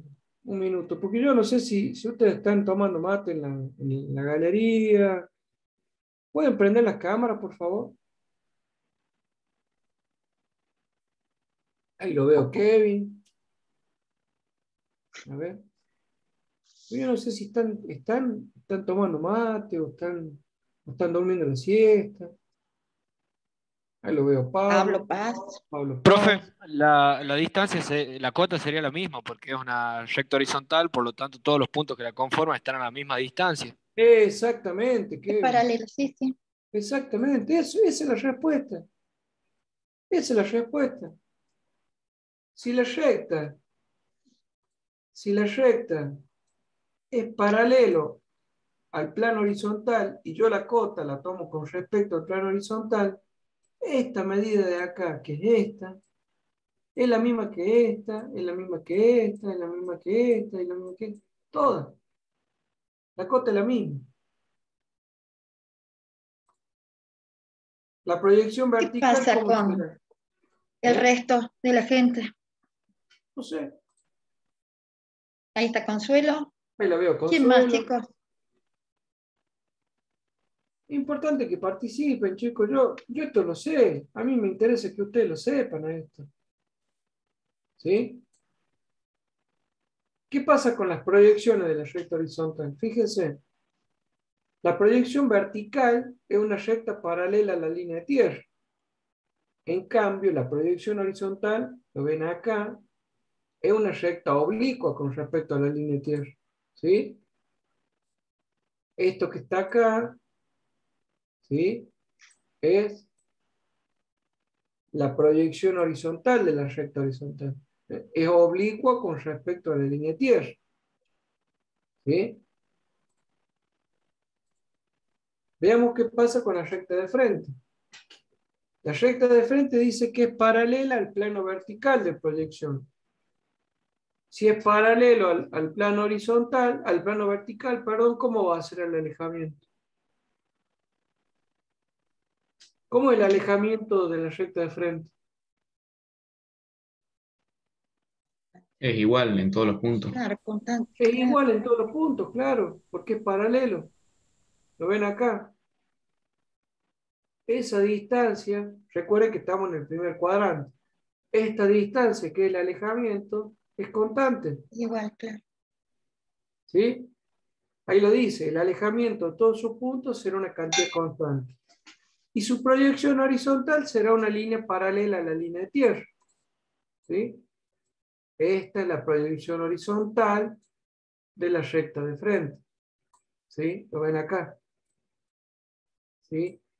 Todos estos puntos se proyectan ahí. ¿Se dan cuenta o no? Recto horizontal. ¿Sí? Esa es la proyección de la recta de frente. Será una recta paralela a la línea de tierra. En cambio, fíjense en qué dice de la proyección vertical. Será una recta oblicua con respecto a la línea de tierra. Ahí la ven. ¿Sí? ¿Vamos?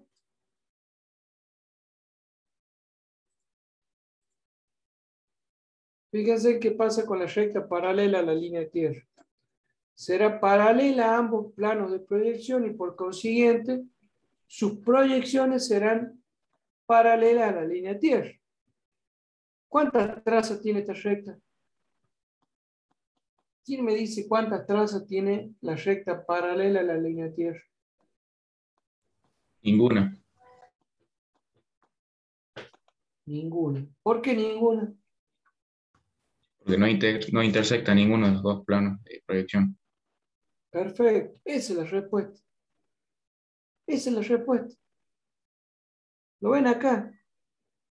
La recta es paralela al plano vertical y al plano horizontal. Y por definición, traza de una recta es el punto donde la recta intercepta los planos de proyección. Si la recta es paralela a ambos planos, no lo corta en ningún lado, no intercepta los planos de proyección. Por lo tanto, no tiene traza la recta paralela a la línea de tierra. ¿Sí? Son dos rectas, las proyecciones son dos rectas paralelas a la línea de tierra. ¿Se da cuenta o no? Fíjense la recta de perfil. La recta de perfil es aquella que está contenida en un plano perpendicular a los planos de proyección, es decir, el plano de perfil, que ya lo vimos más, que lo vimos hoy. Y sus proyecciones son rectas perpendiculares a la línea de tierra. ¿Lo ven ahí? La recta de perfil está contenida en un plano que ya lo vimos hoy, que se llama plano de perfil. ¿Sí? ¿Y qué condición tenía el plano de perfil? Que era perpendicular a ambos planos de proyección, al plano vertical y al plano horizontal. ¿Sí? Por lo tanto, las proyecciones de, de esa recta eh, de perfil serán rectas perpendiculares a la línea de tierra. ¿La ven ahí? ¿Sí?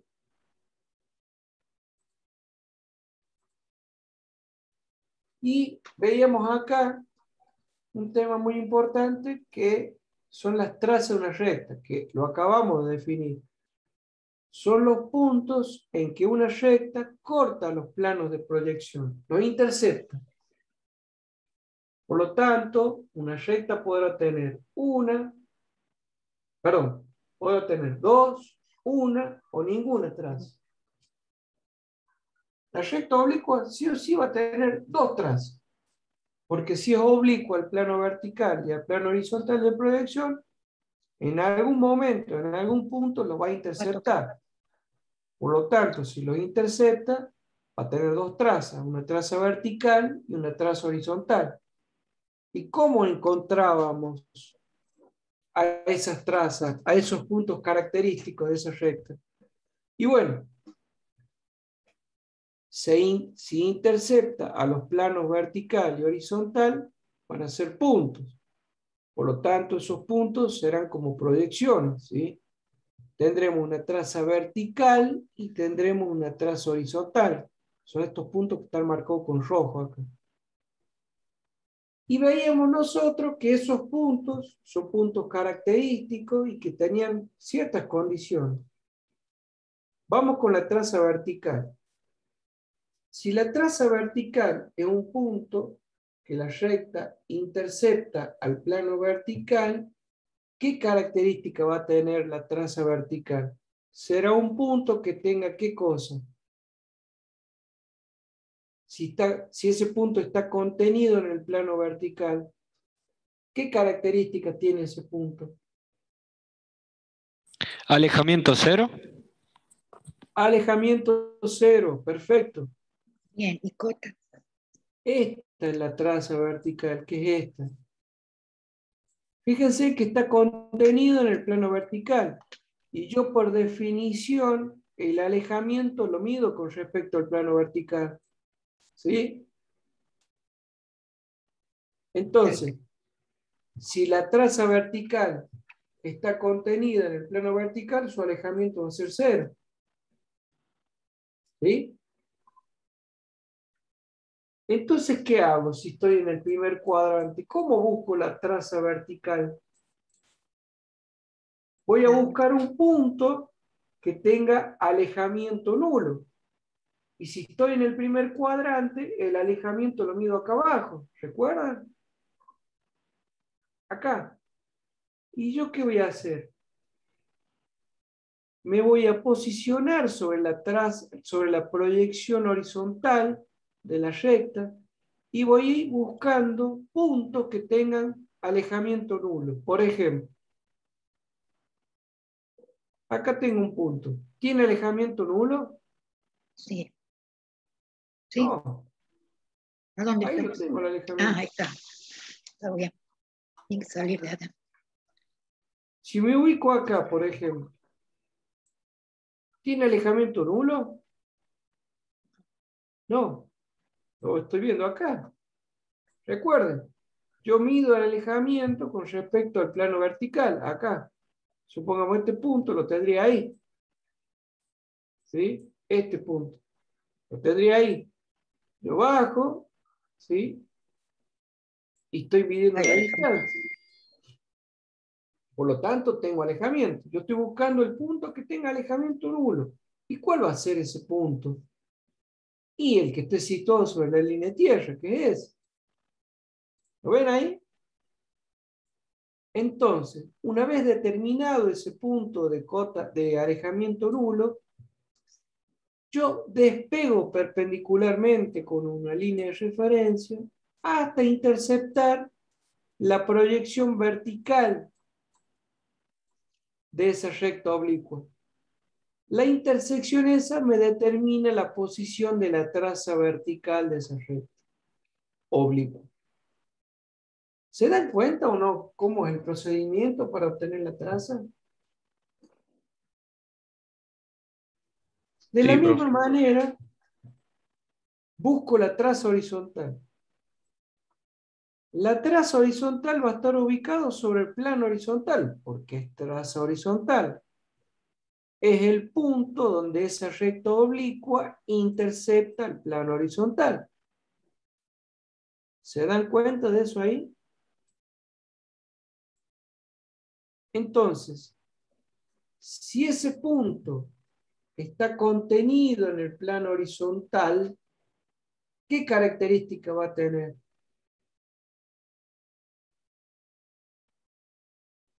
La cota es cero. La cota es cero. Perfecto. Cota cero. Entonces, ¿qué hago yo? Voy a buscar un punto, ¿sí? Voy a buscar un punto en la proyección vertical, porque estoy midiendo cota. Recuerden que estoy en el primer cuadrante. Yo voy a medir cota. Acá mido la cota. ¿Sí? Esta distancia. Esta distancia es la cota. ¿Sí? ¿Se dan cuenta o no? Esta es la cota. La altura del punto. ¿Y qué punto va a tener cota, cota cero, cota nula? Y este. Este. Entonces, busco un punto de la proyección vertical de la recta que tenga cota nula. ¿Y cuál va a ser ese punto? Aquel punto que esté situado sobre la línea tierra. ¿Se dan cuenta o no?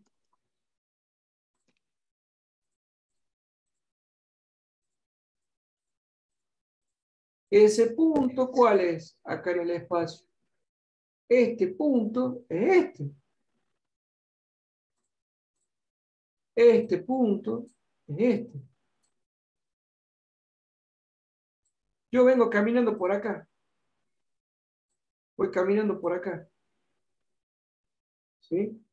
Voy buscando un punto que tenga cota nula. Voy caminando por ahí que tenga cota nula. ¿Sí?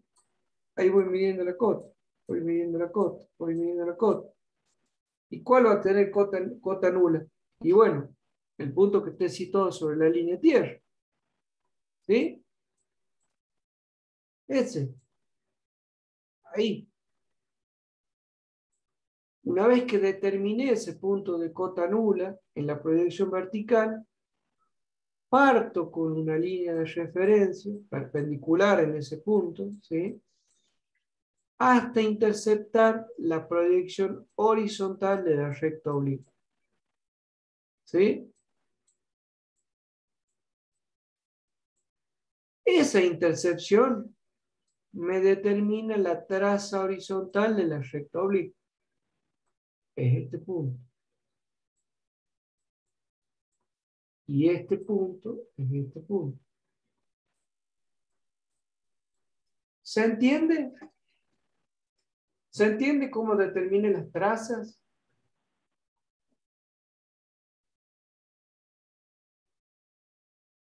sí, profe. El que no entienda, que pregunte.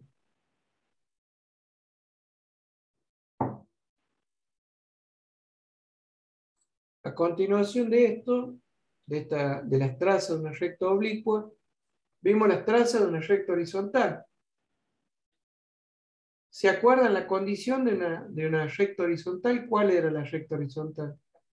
Era aquella que era paralela a la línea de tierra y oblicua con respecto al vertical, al plano vertical. Si es paralela a la línea de tierra y oblicua con respecto al vertical, ¿cuántas trazas va a tener?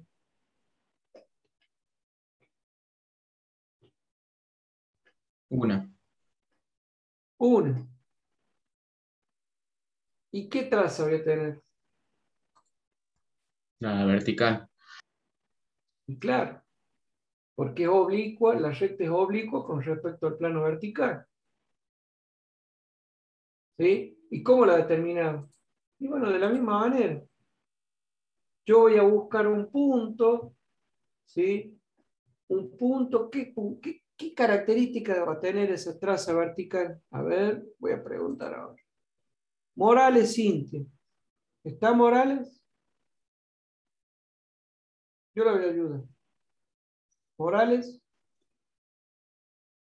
¿Está Morales? Morales. No está Morales. A ver. López Luis. ¿Está López? López. López. Hay 12, 12 alumnos, había 20. Este. Bueno. A ver, ¿quién me ayuda? A ver, si es una traza vertical, ¿qué característica va a tener? El alejamiento va a ser nulo. El alejamiento va a ser nulo. Si yo estoy trabajando en el primer cuadrante, ¿qué voy a hacer?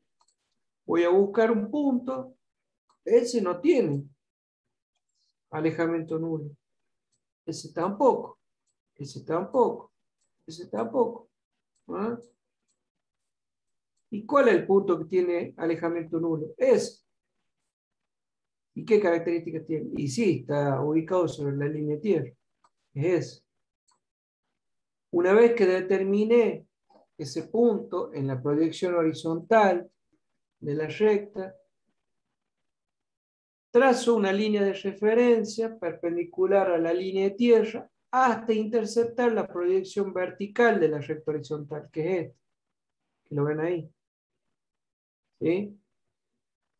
Esa intercepción, que ese punto marca un con rojo, me determina la traza vertical de la recta horizontal, que es ¿Sí? Por eso está bien lo que dice Pablo, que la recta horizontal tiene una sola traza, porque por definición la recta horizontal es paralela al plano horizontal y oblicua con respecto al vertical. Si es oblicua con respecto al vertical, va a interceptar al plano vertical en un punto que lo denominamos traza y esa va a ser la traza vertical. ¿Sí? ¿Se dan cuenta? ¿Estamos hasta ahí?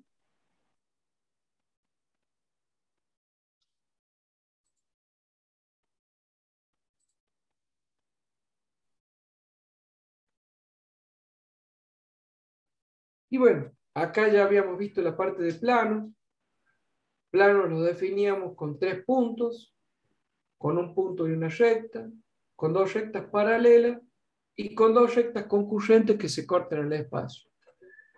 Y habíamos visto, y habíamos visto traza de un plano, que traza de un plano era la recta en la cual el plano interceptaba los planos de proyección.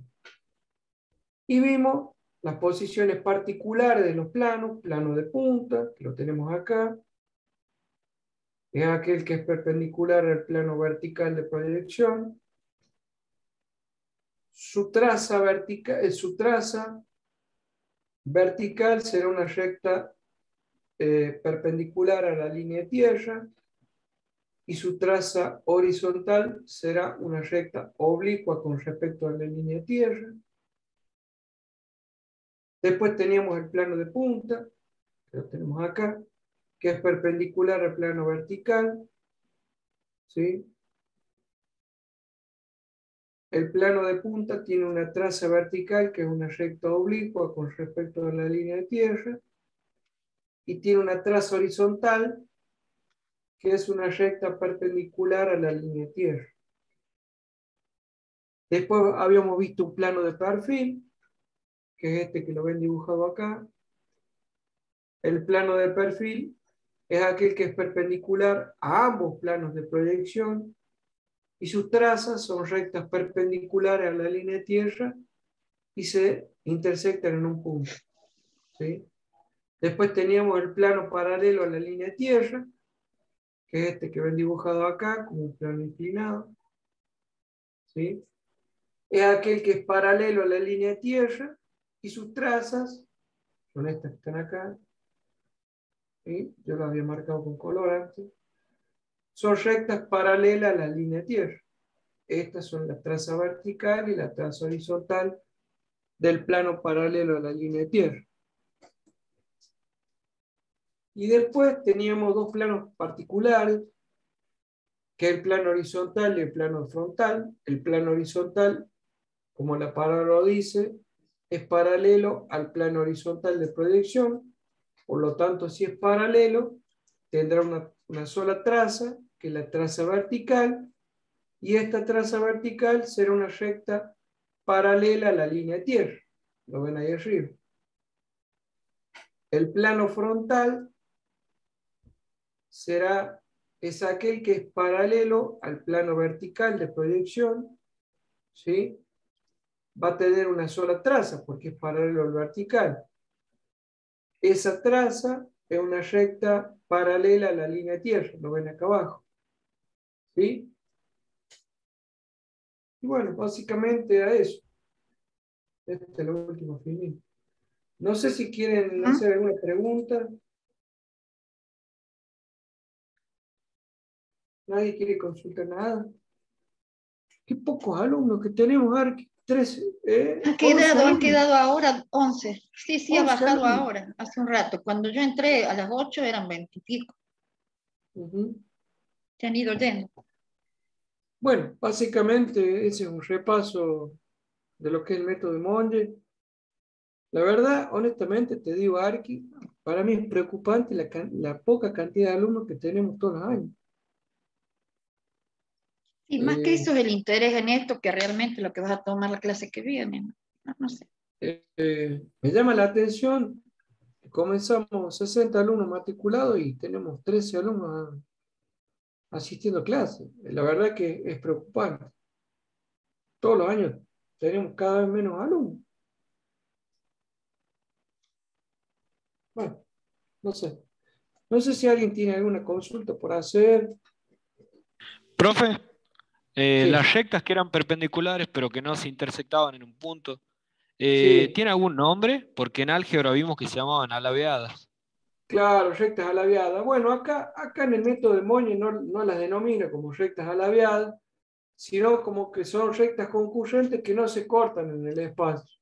O sea, no, eh, no, no, no tienen nombre, digamos.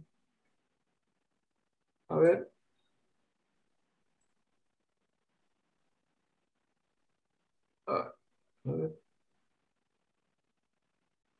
Esta situación, me decís vos. Estas son dos rectas que son concurrentes, pero no se intersectan en el espacio. ¿No entendés? Como vos decís, en álgebra le dicen rectas alabeadas. Bueno, serán rectas alabeadas que no se intersectan, por lo tanto no forman plano. Son rectas que eh, no se cortan en el espacio. Son rectas concurrentes, pero que no hay intersección. Es como yo le había mostrado acá.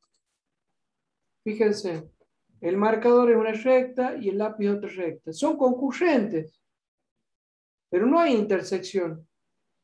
Si no hay intersección, no hay plano. Diferente sería la situación que sí se cortan. Si hay intersección entre las rectas, sí hay plano, sí se forma el plano. ¿eh?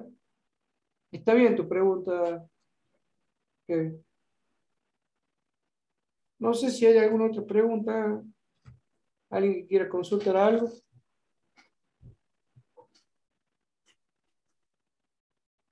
¿Están en condiciones de hacer un ejercicio en la clase que viene? Que como les digo, ahí Virginia me preguntaba si les podía dar ejercicio. No hay muchos ejercicios de esto, no. Con que, con que sepan lo que le hemos dado, repito, eh, ¿cuántos tipos de proyecciones conocen? Proyecciones paralelas, proyecciones eh, cilíndricas o proyecciones cónicas. Dentro de las proyecciones paralelas tenemos la ortogonal y la oblicua. ¿Sí? Con que sepan definir eso, ya me es suficiente. Necesitaría que sepan qué es el alejamiento, qué es la cota, las posiciones particulares de los puntos, los cuadrantes y cómo son las cotas. Si yo le digo que un punto tiene cota positiva y alejamiento positivo, ¿en qué cuadrante va a estar, por ejemplo? Cota positiva y alejamiento positivo. ¿En qué cuadrante está? En el primero. En el primero, bien, Pablo, bien. Si tiene cota negativa y alejamiento negativo, ¿en qué cuadrante está? Tercero. Tercero. Tercero, perfecto, perfecto, Virginia. Esa cosa. Definición de traza. ¿Qué es la traza de una recta? O cómo son las trazas de una recta oblicua, que me las dibuje. ¿Mm? Y vamos a tener que hacer ese procedimiento, ¿sí? Si tiene dos trazas, va a tener una traza vertical y una traza horizontal. La traza vertical, ¿qué característica tiene de la recta oblicua? Traza vertical. ¿Qué característica tiene? Traza vertical. Es un punto que está contenido en el plano vertical. ¿Qué característica tiene? A ver, Consuelo. Alejamiento cero puede ser, profe. Alejamiento cero. Perfecto. ¿Te das cuenta, Consuelo? Sí. ¿Te das cuenta de lo que dijo Virginia? Mira, yo me pongo acá. ¿Sí? Tengo que buscarme, dibujar. Y tengo un efecto oblicuo. Tengo un efecto oblicuo. Fíjate que el punto en el plano vertical no tiene alejamiento. Es este, este de acá. Estoy con el dedo pulgar.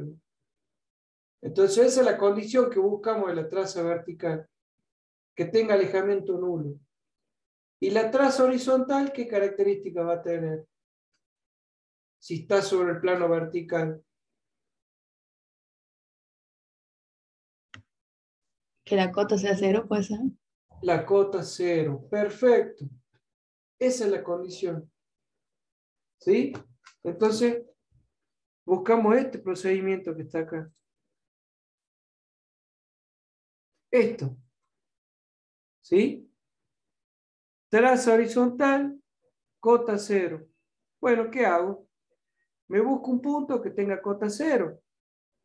¿Y cuál es ese punto en la proyección vertical que tiene cota cero? Y este.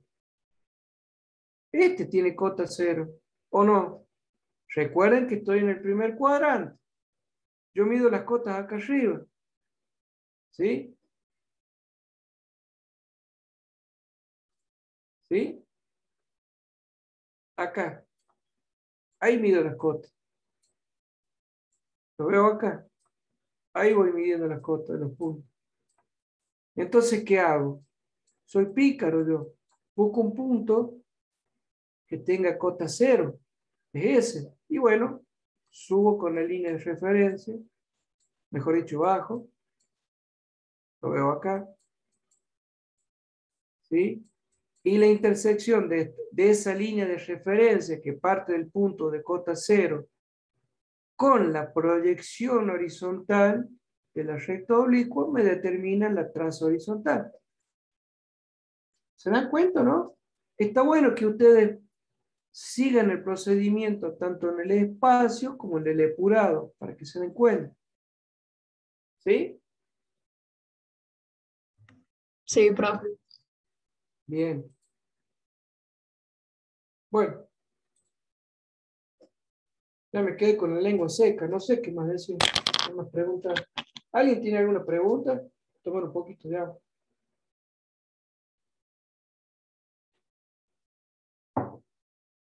No sé si alguien quiere preguntar algo. Entonces decíamos, posiciones particulares de las rectas. ¿Cómo es la recta horizontal? A ver quién me dice.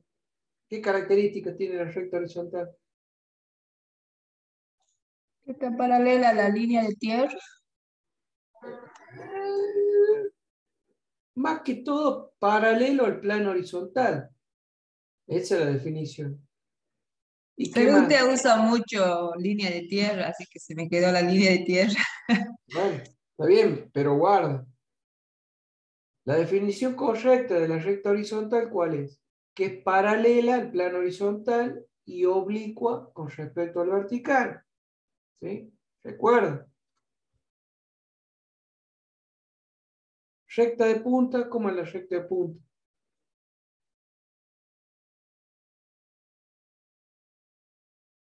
¿Quién me dice cómo es la recta de punta? Esa era la que era perpendicular al plano vertical. Exactamente, esa es. Es perpendicular al plano vertical. ¿Y cómo es la proyección horizontal de la recta de punta? Eh, sería perpendicular a la línea tierra. Exactamente. ¿Y la proyección vertical? Sería un punto que estaría en el plano vertical. Exactamente. Exactamente. A ver, recta paralela a la línea de tierra. ¿Cuántas trazas tiene Valentina Flores? ¿Está Valentina? Valentina. Valentina está. Mateo Lisandro Francisco está. Ahí, ahí me responde Valentín. A ver, Valentín, yo te ayudo. No tengo micro. No hay problema. Vas a responder con una, una, sola, una sola palabra. ¿Cuántas trazas? Sí, ahí te repito. ¿Cuántas trazas tiene la recta paralela a la línea de tierra?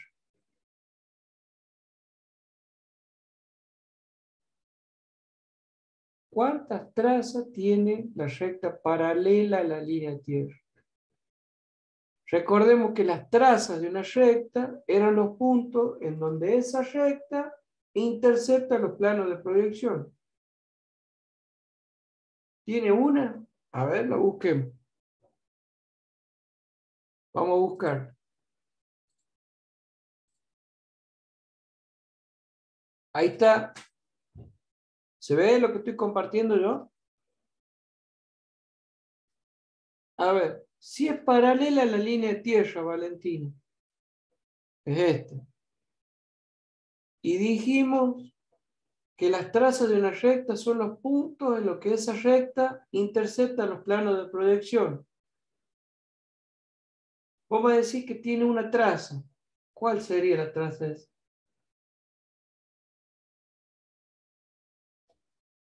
A ver, voy a salir del compartir. ¿Está segura que tiene una traza la, la recta paralela a la línea tierra?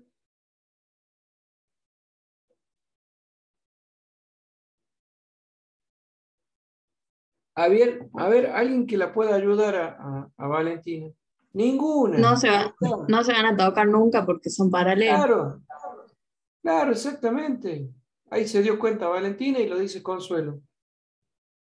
No sé, no, es paralela a, los planos de proyección. Si es paralela a los planos de proyección, ¿ves? será paralela a ambos planos de proyección. Por consiguiente, sus proyecciones serán paralelas a la línea Fíjense que esta recta que estoy marcando con el cursor es paralela a los planos, no los intersecta, por lo tanto no tiene traza. No hay traza. Sencillo. ¿Eh? Bueno, no sé si alguien quiere preguntar algo más. No hay problema, Valentina. Mientras no, no te ande mal para subir la semana que viene el el, trabajo integrador, no hay problema. Bueno. Eh, ¿Alguno tiene algo que consultar, alguna duda? Recuerden que durante la semana me, pueden preguntar en, en horarios razonables, ¿no? tienen horario de consulta el miércoles, pero si alguien tiene duda, duda el jueves o el viernes, me pueden preguntar, no hay problema. Yo les puse el miércoles como para, bueno, circunscribir el horario de consulta en un día. Pero bueno, ojalá que nadie me escriba el domingo a las 10 de la noche porque voy a estar viendo el partido. No, no me voy a escribir para preguntar, profe, ¿quiere la clase en la recta? No, yo no le voy a decir nada. No sé si alguien tiene alguna consulta. ¿Cómo le fue con la entrega del trabajo práctico? ¿Van a estudiar? ¿Me prometen que van a estudiar y se van a sacar 10 todos? Sí, profe. Estudiar, sí, el, el 10 no sé. No, no, yo quiero que todos se saquen un 10, todos quiero que se saquen un 10. Porque tiene su complejidad, pero es necesario que ustedes se, se, sienten y le dediquen tiempo un poco. ¿eh? La, la, presentación tiene 26 filmines. Divida la cantidad de filmines, la cantidad de, días que tienen para el esquicio y bueno, ahí le van a dar la, cantidad de días que tienen que estudiar. Arqui, no sé si querés agregar algo más. Yo no, no, no, de este tema ya no, supongo que no nos quedan dudas. Eh, bueno, y si no, la generosidad del, ingeniero que todavía en horario posible les puede responder. Sí, yo lo tengo. Pero bueno, eh, está todo ahí en el, en el PPT, no en el, o sea, leyendo lo que uno ha hecho, le ha ido un poco el, el apunte. Y luego con el PPT afirma los conceptos, nada más, no hace falta más. Repito, Arqui, las preguntas van a ser relacionadas Salen del, claro, a lo que le hemos dado, no, no, va a salir de otro lado. Así que. O sea que no, no hace falta. Virginia me pedía ejercicio, no hay muchos ejercicios de esto. Lo, lo, que yo quiero que ustedes se sienten con el apunte, con la presentación que le hemos hecho. Eh, digo, el PowerPoint. O la interpretación gráfica de lo que dice el apunte. Es fundamental, es fundamental que haya una, una, una correlación entre el espacio y la parte plana todo lo que yo le fui explicando, la vista espacial y la vista del apurado, es fundamental que eso lo entiendan. ¿eh? Porque yo le puedo decir... Sí. ¿Va a ser práctico o hay teoría también? Yo entré tarde porque volvimos de la 1.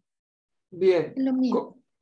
Como te decía, Consuelo, el, el, el, trabajo práctico que van a resolver en la clase que viene va a ser integrador teórico práctico, pero más que todo práctico. Yo les voy a decir, por ejemplo, dibuje una recta horizontal en el espacio y en el apurado. O sea, ¿qué van a tener que hacer ustedes? Van a tener que venir.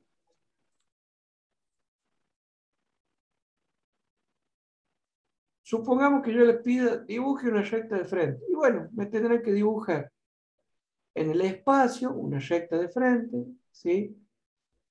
van a tener que dibujar los planos de proyección, designar los planos de proyección, vertical, horizontal, designar la línea tierra, designar, por supuesto, la recta de frente, con una letra minúscula, y van a tener que dibujar el epurado.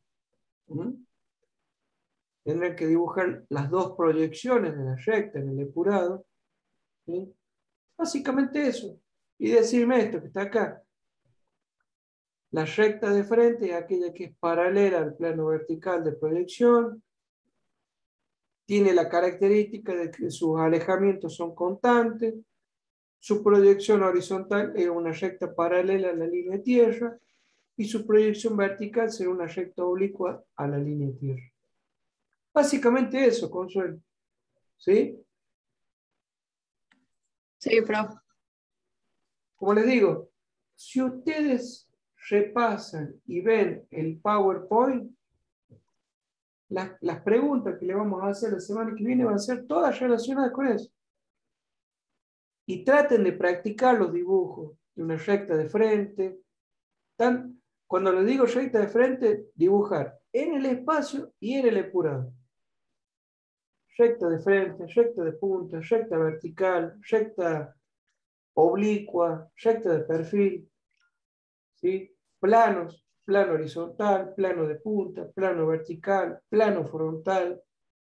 ¿sí? Todo ese dibujo, tanto en el espacio como en el epurado, se lo vamos a pedir. Así igual, ya le estoy diciendo todo lo que me preguntan. Ya sería como que ya les hago el ejercicio yo. ¿Eh? Pero bueno, la idea es que, que, estudien, que repasen, que pregunten, no, no tengan miedo de preguntar, para eso estamos. ¿eh? Bueno, eh, hay un comentario que, se lo hice a, la ARCI esta mañana con respecto al plano, al plano de relevamiento. Eh, ARCI, con respecto al tema de la instalación eléctrica, no sé si vamos a llegar para ver ese tema.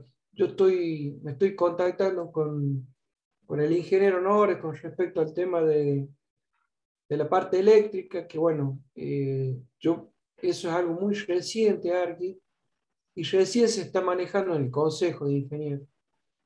Así que yo creo que lo vamos a tener más cocinado para el año que viene.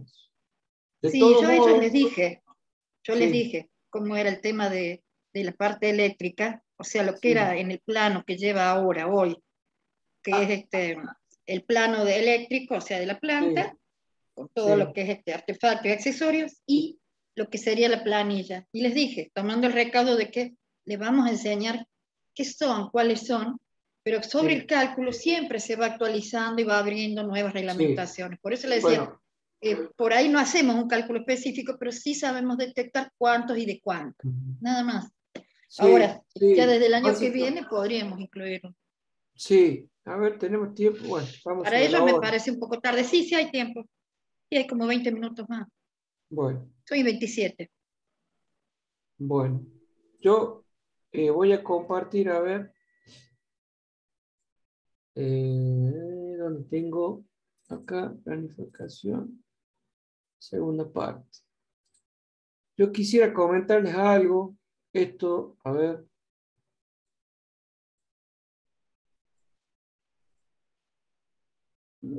Bueno, eh, tengo entendido, Arki, que vos la parte del, del, trabajo práctico número 5 ya más o menos lo, lo encaraste. Vos. Sí, en la clase pasada, sí, sí. Bien. Con respecto al, al plano de, de, electricidad, este año, estoy, estoy hablando de algo muy reciente, cuestión de meses atrás, eh, tanto el Consejo de, de Ingeniería como el, como el Colegio de Arquitectos se han puesto de acuerdo en algo que se denomina seguridad eléctrica y han reglamentado una nueva, una nueva normativa en cuanto a la presentación de los planos. Por lo que yo tengo entendido, este plano número uno va a ser solamente plano general y esta parte de electricidad va a tomar forma ya de un plano aparte. ¿Qué pasa? esta parte eléctrica que, bueno, nosotros hasta, hasta el día de hoy, a ver. sí, está la planilla y la, y la planta. Claro, esto, esta parte de esta planilla Ahí está una parte, ventilación. Ahí va. No, la, otra, esa es de ventilación. Esta no, la de electricidad, circuito. Este. Hasta el día de hoy. Esta de abajo. Tengo que consultarle, soy honesto, si esto va a seguir siendo vigente así un plano de relevamiento. Esto voy a tener que consultar. Yo claro, la, que se va a La duda en particular, José, sería así, bueno, como el caso de la estructura que veíamos, llevar una firma aparte, o sea, ya no tenemos competencia cualquiera, sino que el que tiene la competencia o la habilidad de firmar un plano eléctrico. Te, lo Entonces digo va a conformar otro plano. Sí, te lo digo que sí, porque es así. Bueno, sí, sí.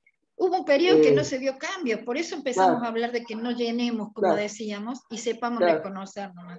Claro, porque yo lo que tengo entendido, el, el Consejo de Ingenieros llamó a, a, curso para, para, actualizar esa parte de, la parte eléctrica. ¿eh? Como que va a haber una, alguien que se va a dedicar, digamos, a la parte eléctrica y va a hacer un cálculo eléctrico para determinar secciones de conductores, amperaje de llaves, termoeléctricas, disyuntores, es decir, que va a tener un cálculo aparte. Así que... Es que tenga su lugar el especialista en eso, está bien, está bien. Exactamente, exactamente. Es por lo que yo tengo entendido y estuve hablando estos últimos días. ¿no? Menos mal que, que, hicimos el recaudo ese la semana pasada porque a ese fin era, ¿no? Que si salía algo, porque ya empezó ese movimiento hace unos ya empezó y se está gestando y creo que ya hay presentaciones hechas con, con parte nueva. ¿no? ¿no? sí, sí, por eso le apuro en los cursos y todo, claro. Para conseguir que te habiliten a firmarlo, tendrás que tener esa capacidad. exactamente, tendrás que tener habilitado, exactamente. exactamente. Claro, claro, certificar eso, me parece bien. bueno. bueno, bueno, no sé si queda alguna duda. Eh, bueno, nos estaremos viendo la clase que viene. A ver, a ver, quiero ver una sí, y bueno, yo les había dicho que para hoy trajeran, para que fueran avanzando, si había tiempo, en qué tipo de planos tenían a mano.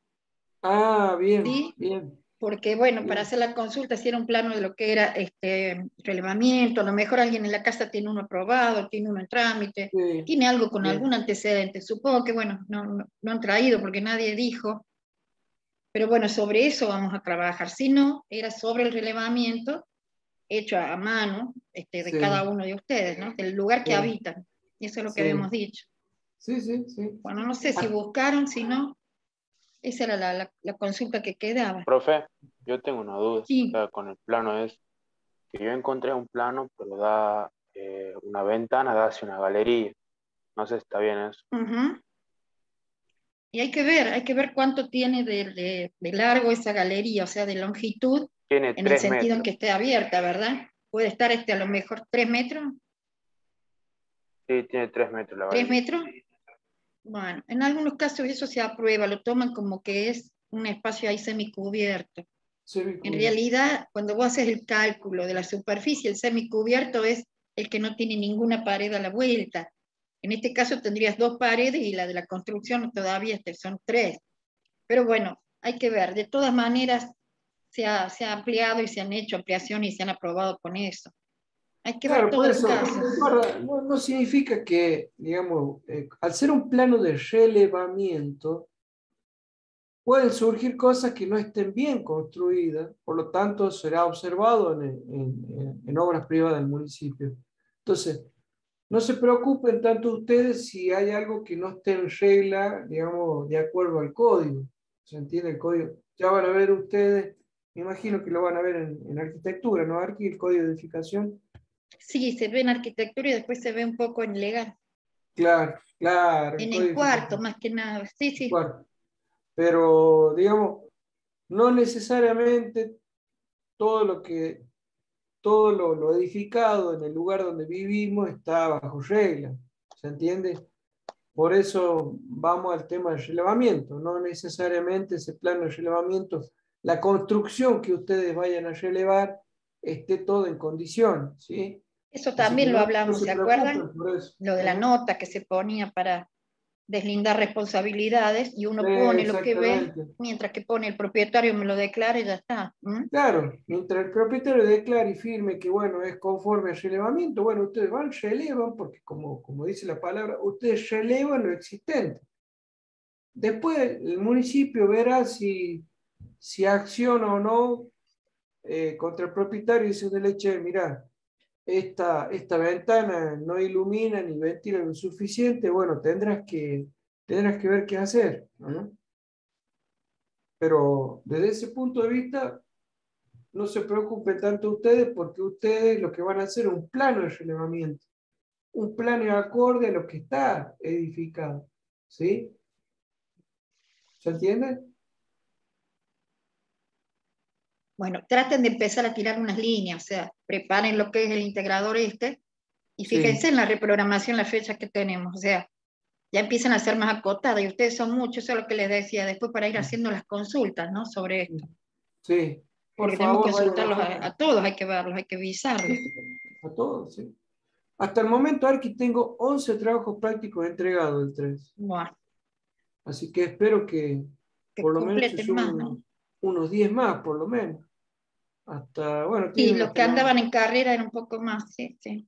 Y más o menos son unos 20, 21 los que vienen en carrera, así faltan unos 10 todavía por entregar. Así que bueno. Bueno, chicos. Eso del 4 y el 5, empezar a hacer borradores y buscar todo el dato y verlo. Sí, sí, sí, sí, Bueno, cualquier cosita después de. viendo. Eh, después, después del, del, trabajo práctico el lunes vamos a tener ahí un, tiempo para consultar algunas cosas. bueno. nos vemos, ¿sí? Bueno, nos vemos el lunes, chicos. Hasta luego. Chao, profe. Hasta luego. Chao, profe. Hasta luego.